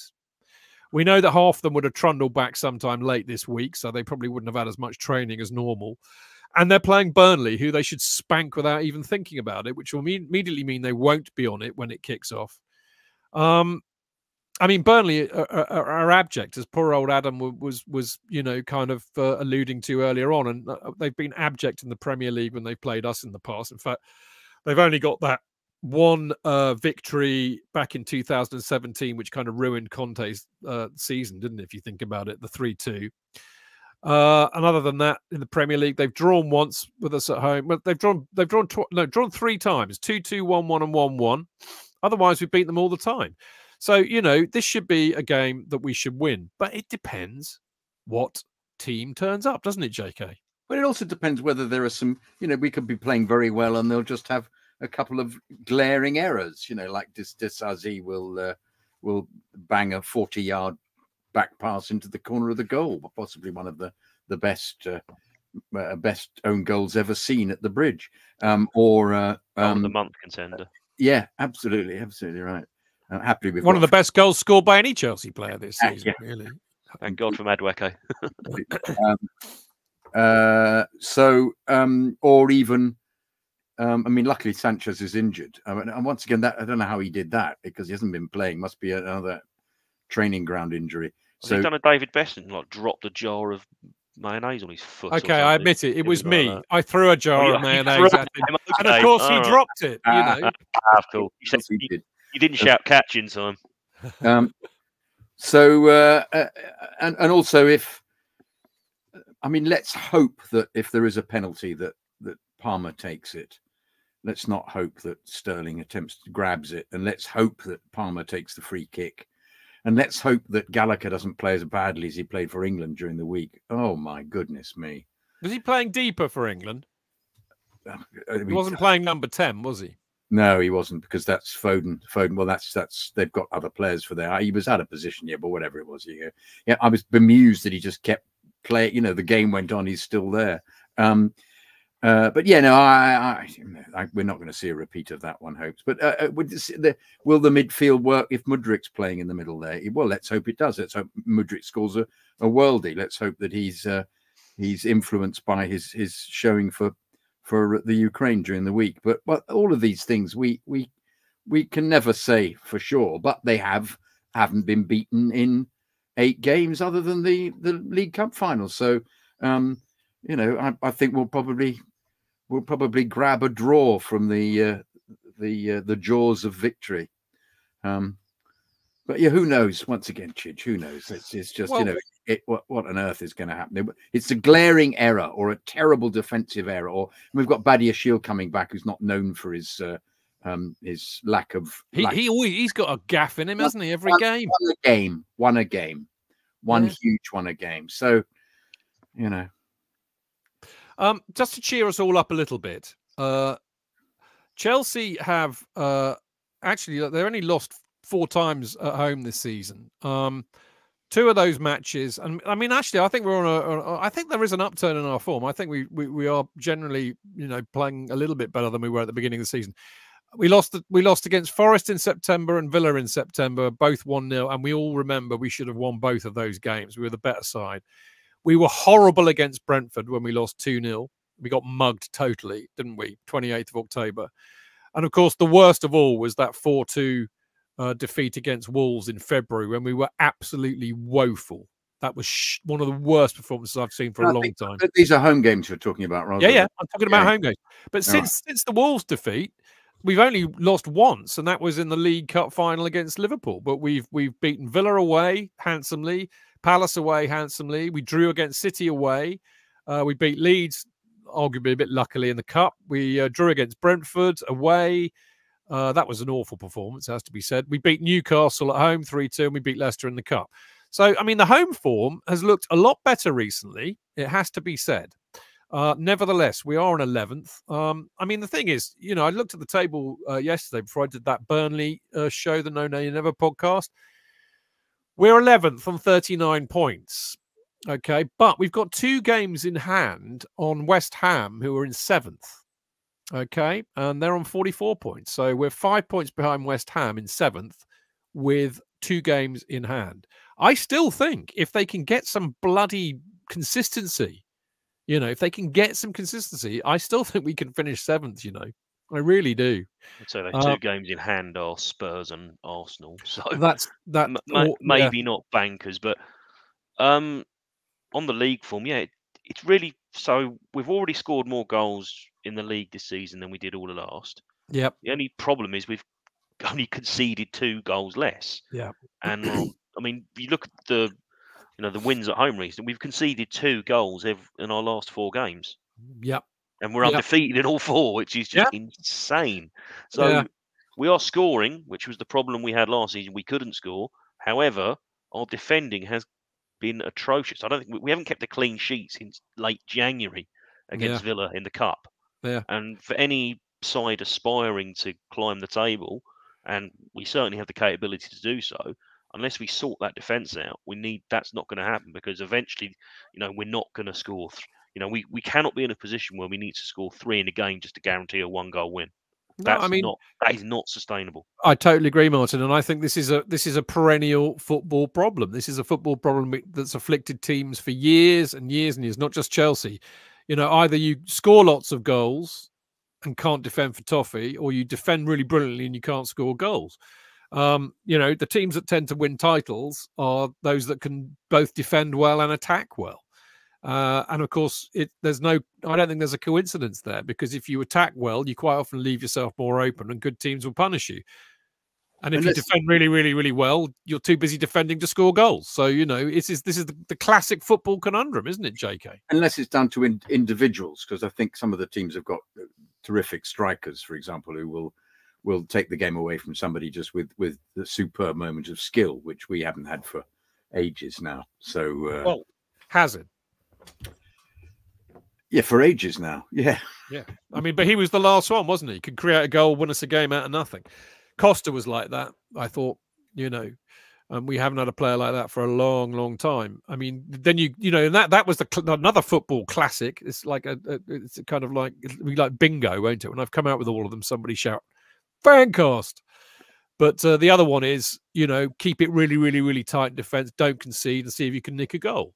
Got a good striker, you will do. Good at set If you've got a couple of decent players you can then pull something out of the bag, you can then concentrate on defending more so uh, and not take any chances and then hope that the goal will come from one of these two outstanding attackers yeah. there's a couple of really nice uh that you've been very good with your uh posts on youtube tonight actually um i'm enjoying them neil has come up with another one have you noticed that since Casadei left uh, Leicester, they've got in free fall. He also played well for Italy under 21s. Hopefully, he will get on, JK. Well, you wonder, that might be a good point. He might play uh, instead of um, Mudryk or uh, as the other midfielder. He might give him a go. Yeah. I mean, that definitely. would be interesting. I mean, that might be an opportunity because, you know, I, yeah. I, don't know what, obviously, I was, I was genuinely surprised at how bad Leicester were when yeah, we played were. them. Oh, I absolutely agree. They were. I mean, I mean you know, yeah. Burnley went up comfortably and are now not doing well at all. And I fear the same problem could happen with Leicester. Leeds played better than them again. They did against us than Leicester did, and you know the two goals were that we conceded were a well Disasi, which we've all discussed, and a bit of you know class from Mavididi. Apart from that, was absolutely nothing. So yeah, I don't know if it's exclusively down to Casadei going or being returned, but there's just seems like I mean, they lost again today, I believe. So it's getting a bit yeah, a little bit dicey. They're in free fall at the moment. They yeah. really are. I think they've got they've got something like one point in the last twenty four. Yeah. Hey, how, and, a, and another good comment on there, uh, Mike Fletcher. The defense changes every week, and that is yeah, literally that is the problem. Every time the defense we have, I'm, I'm sure someone could tell us the last time we played the same mm. back four or back three in a game, and in two consecutive games. What's Chalobah done this time? Injured himself. No, I know, well, but what's he what's he done as an injury? Do we know? We'll never, He's currently we'll undergoing know. his rehabilitation. Uh, they apparently, they changed that in the day. They so it was undergoing rehabilitation to earlier, and then they've changed it to some other load of, you know, wishy-washy nonsense that doesn't actually tell you what the problem is. Of course not. Of you have to leave that to the doctors, of course. Hi, everybody. oh well, okay. Let's stick a number on it. J.K., what you going for, mate? Two two. Two two. I like your style there, conceding two, scoring as well, yeah. but not quite enough. 2 2. Martin? I always get concerned with this because I've, we seem to have three or four games where we play well reasonably well and you know string a couple of wins together, and then we get kicked in the balls and we either draw or lose a stupid game that we by on paper we should absolutely comfortably win. That said, I think we will win two one. I have no confidence that's going to happen, but that's what I'm sticking to, and I'm going to get a load of rosary beads out later on and pray. Mm. Well, I am going for 3 1. Uh, I would go for 3 0, but I just can't see us not conceding a goal at the moment. So I'm going to say 3 1. We.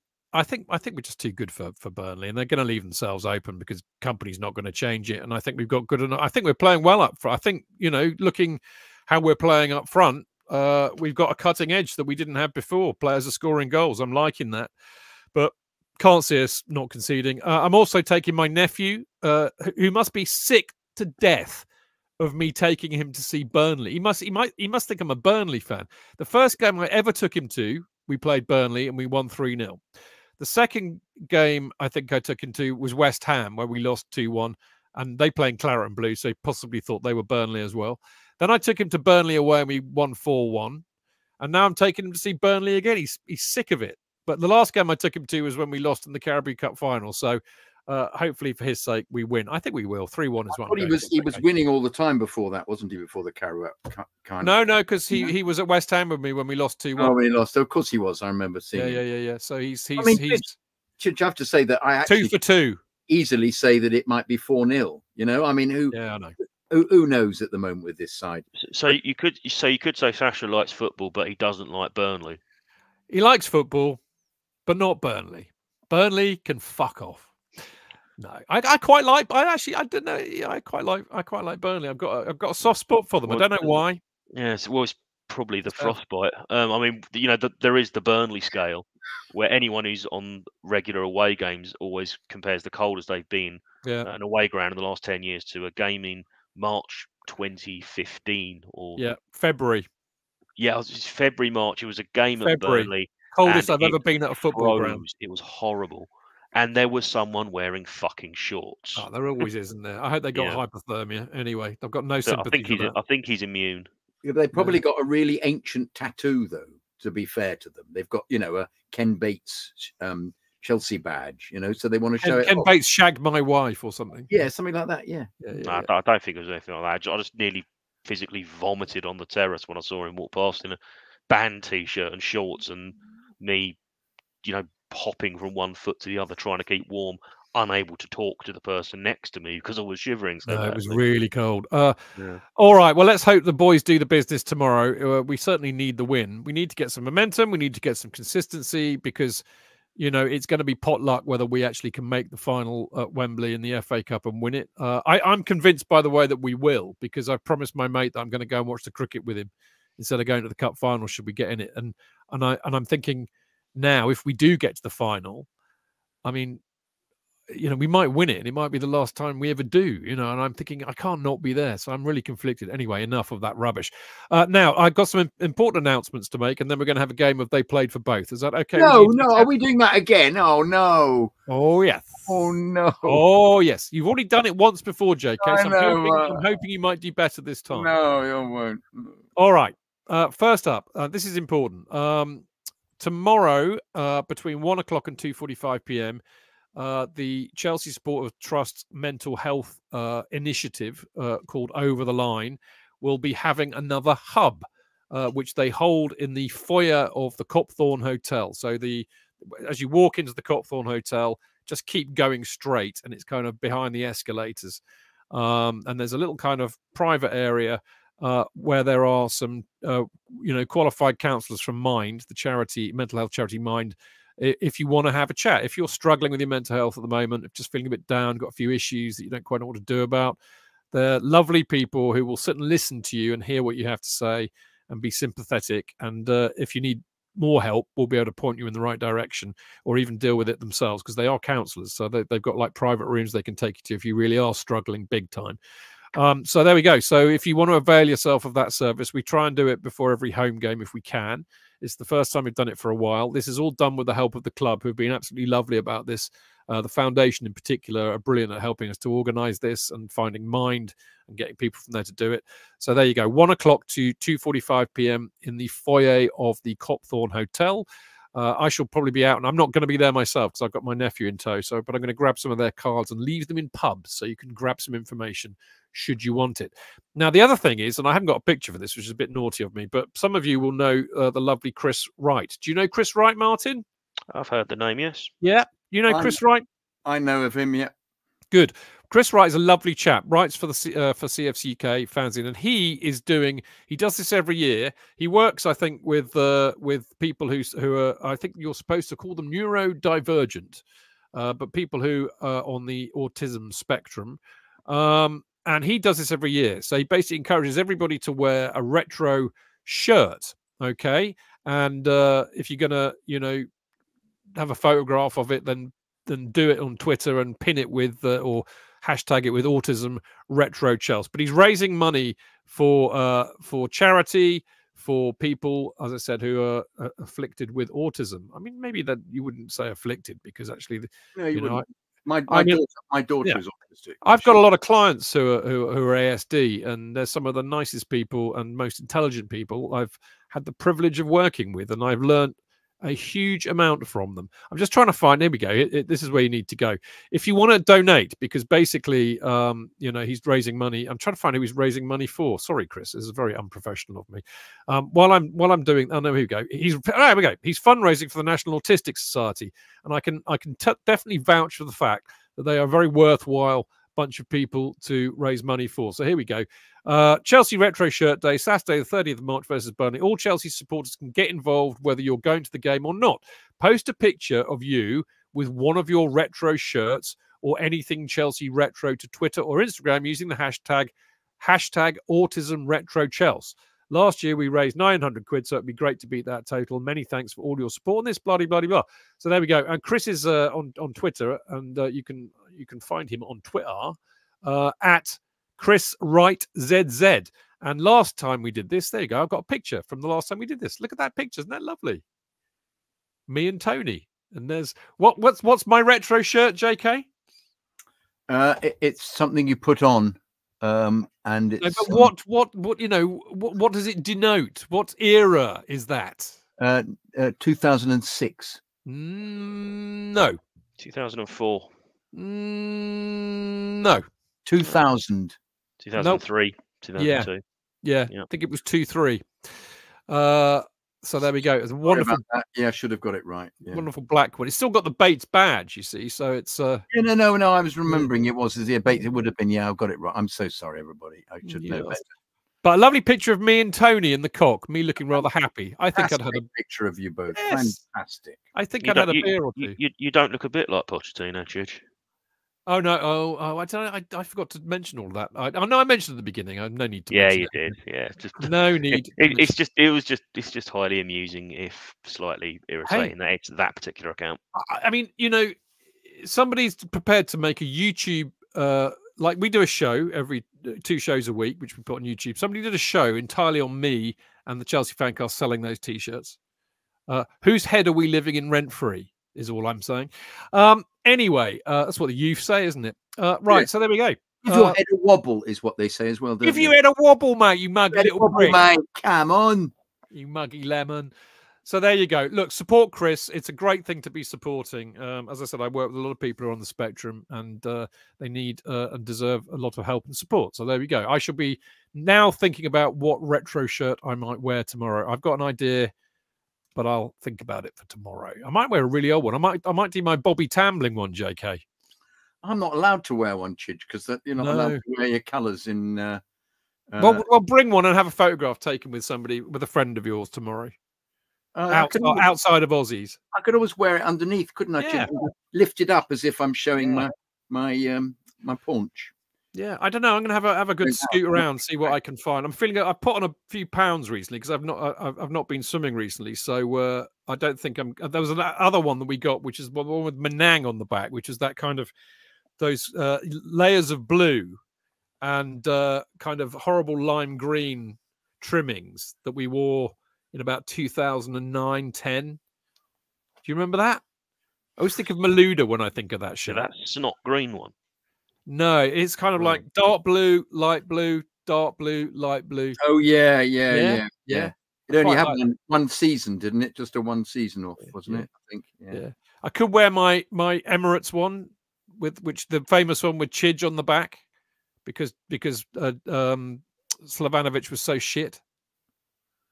I don't know. We'll see. Anyway, it's time for JK. Ah, they played for both. Da, da, da, da, da, da quickly remembers to go and grab. Do you want to see my allotment plan? That's much more interesting. Woo. I was planting uh, planting spinach and radishes this afternoon. Oh, you're a lucky man.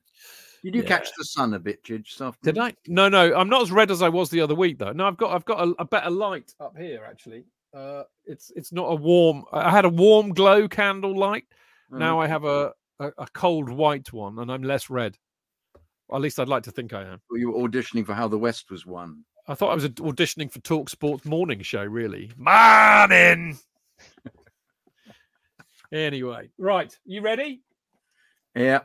There are, well, there were, there are hmm. 19 players oh, who God. represented both Chelsea and Burnley during their careers, and they are Martin.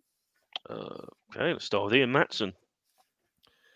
You are correct. Jim Thompson. Oh, yes. That's approaching it, approaching it from both ends there. Gary Cahill. Yes. John Harley. Yes. Frank Sinclair. Yes. Um, was it um did Dave Beasant play? I can't remember. Did he no. No. Or was it Turnbull then? No. Uh, was it um Sullivan? Nope. Oh, okay. That's gone through my list, list of. Is that you Ian done, Britton. JK? No, I've still got a couple of other outfield players. Ian Britton is correct, by the way. Ian Britton, yeah, Ian Britton. Um, Damian Matthew. Fucking hell, JK. Yes. I just happened to remember why I was interested in Damian Matthew because I actually thought he was quite a decent player, and uh, and I think he went to Palace, and I think he then went off. Uh, but I was always bemused as to why he never particularly made it because he he played really well for us for a season, and and uh, I'm, I'm, occasionally happens. You just think, what, what happened? Why did they get transferred, and why did they not then, you know, get attract interest or play terribly well for the club? Anyway, yeah. So he's he's always re remained in my uh, in my psyche. All right. So there you go, Damian Math. Sorry, it's Jack Cork. Yes. Yeah. Where is he? Yeah. Well done, Martin. Um, Oh, God. Did um did did Chico Hamilton or was it Villa he then played for? It was Claret and Blue. I think of Chico Hamilton played for He didn't Villa. play for Burnley. He played for Villa, it was Villa, yeah. Um uh, uh, John Dunn. Nope. Oh God, another goalkeeper gone. Okay. Uh, there are no goalkeepers on this list as far as I can thank work. You, thank out. you. That's just as well because otherwise I'd have carried on. Uh, uh, I don't know. Nathaniel Chalobah? Yeah. Oh, bloody hell, we did. Okay. Um... John O'Rourke. No. Uh, Jim Barron. No. Okay, now. Uh, uh, uh, uh, How many have we got so far? One, two, three, four, five, six, seven, eight, nine. Only 10, 10 left. You're halfway through. Are they 10, 10 of people that we should know, is what you're saying? You should know one, two, three, four, five, at least five that you would have heard of. And and I make that six because you should have heard of another one, JK. Your era. My era. Right. Your era, 1905. Yeah, that's right. Yes. Fatty Foulke. No. No I said no goalkeepers. oh, sorry. There's one player that you sh- that we've actually talked about tonight. Fofana, David Datro well Fofana. Done. Well done. Oh, of course, blimey, how you forget about that obviousness. I forgot he'd played for Chelsea. Never mind, fucking Burnley. There's uh, another player who's played for. We loaned out to so many teams before he settled to a, a team that uh, we don't like at all. In fact, we hate. Totting, Tottington. No, we all hate Leeds and Leeds and Leeds. Oh, fuck it, Bamford. Yes, Patrick Bamford. And then there's a player that we signed as a we, we, we buy one get one free. Danny Drinkwater. Yes, Martin is very clever. I love it.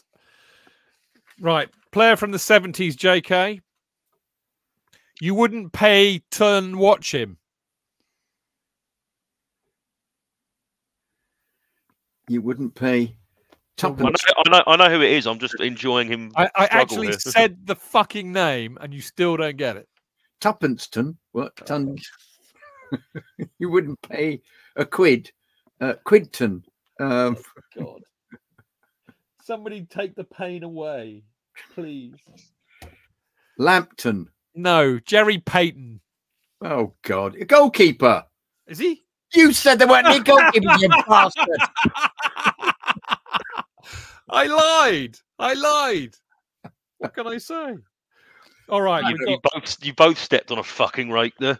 did, There's one, two, sorry, one, two, three, four left, five left. One of them, he made 10 appearances in 1967. Joe Kirkup. No. I, am Colin Waldron. Oh fuck! Yes, of course, centre half. Yeah. Yes, yes, yes. Oh God, I knew there was. Oh God. Now this oh, this oh, this next chap. Bury. He gets ridiculous. I can remember he was signed from Bury. I can remember that. For God's right. sake, why? This, this, this next chap. This next chap is arguably one of the most famous players ever to play for Chelsea. Jimmy Greaves. No, because he didn't play for Burnley. No, I know he didn't. I just you just you said he was one of the most eh, famous. Though. Well, think think along those lines. Really famous footballer. Ray Pointer. No. No. it was an England international. Kind of war years. Second Tommy World Lawton. Yes. Well done. You're not going to get the next two, so I'll give them to you. Uh, Billy Gray. Oh, uh, Billy. Oh, 1949 to 53, 172 appearances, 15 goals. Yeah. Uh, Peter O'Dowd. Oh, yes. 1931 to 33, 86 appearances, no goals. England International 1932 to 33, three caps. This is an interesting chap. Max Seeburg, a reserve uh, in 1906 07. As a German national, he was interred at the start of World War One, but released after a couple of weeks. Interned, surely not interred. Interred so is that that's you die. You're right. Uh, you're right. No, you're right. Uh, Nathan has written interred. He meant well, perhaps he was locked up in a cave. I did my Ron Burgundy though. I just read what was written on the piece of paper. Buried, he was buried alive, right? he was very lovely. They dug him up a couple of weeks later because yeah, they suddenly thought, well, we better. Oh shit! There's something rattling down there. Yeah. They thought, well, because we buried him alive, we'll let him let him play for Chelsea. Come on, mate. You, you're not you you know you're not supposed to bury the Germans alive. All right, go and dig him up. So there you go, Max Seeburg. Uh, and last but by no means least, this is rather sad. Um, Philip Smith, uh, who uh, made one appearance in 1910 and was killed in action on the 29th of September 1918. I wonder if we might find out a little bit more about him on our wonderful World War One tour in the summer. You that's never right know. Near, that's right near the armistice, isn't it? yeah, yeah, a couple of months, mate. Very sad. Yeah. So there you go. That's uh, they played for both. I thought you did quite respect. Res- yeah, that was a respectable performance by you both. Actually, you, you came out with some real humdingers there, JK. It's well, I've, I always remember Jim Thomson because he was um he played he played a lot in the uh, in those uh, Docherty sides. Yeah. Uh, and I never thought he was terribly good. So I was intrigued to mm. see that he he uh, went, he went off to Burnley. I wasn't surprised. Made uh, 47 appearances. Yeah, yeah, but he he was a bit peripheral, and whereas Waldron came in with a great element of hope for him to um, from Bury, and um, I thought was a, a, bit of a plank. Mm. Um, so uh, it didn't surprise me that he did. He, he was soon transferred away. Um, but that was an era where people came in and played dreadfully and were sold, as opposed to the current era where people come and play dreadfully and uh, we encourage contracts. Exactly. They can't, they can't be sold. Anyway, uh, thanks obviously to Paul Carter and uh, his wonderful website, stamford-bridge.com. Uh, you can find Paul on Twitter at Stamford underscore bridge. Check out the Chelsea Heritage Group, chelseaheritagepartnership.com, and you can find them on Twitter at CFC underscore heritage. And one hmm. day I will learn to say X and not Twitter, but not yet. Right. Uh, JK? You could always say formerly known as. Formerly known as. The artist formerly known as Twitter. Exactly. Right. Uh, we will be back on Tuesday night, unless I think Tuesday night. So actually, Tuesday night's a good night to do it because we got we got United on uh, Thursday, haven't we? Aye. So uh, it'll be a good day to like. If we did it on Monday, we'll know nothing about what's happening. Whereas nah. on Tuesday, nah. we might have a bit more info. Right. So we will be back on Tuesday night with me, uh, JK. Also, I've got the week off next week, so uh, I won't be completely fried on a Tuesday evening. So we'll be back on Tuesday night with me, JK, and Dan Silver at 7:30 p.m. to report. Back, yeah, to report back on the match against Burnley and uh, look forward to the match against Manchester United. Uh, so there you go. Um, that's probably all you need to know. Uh, now you can actually no, you need to know this too. You can follow the show on all the social media at Chelsea Fancast, me at Stamford Chidge, Jonathan at Jonathan Kydd, and Martin at Martin underscore Wickham. Martin, how lovely to see you.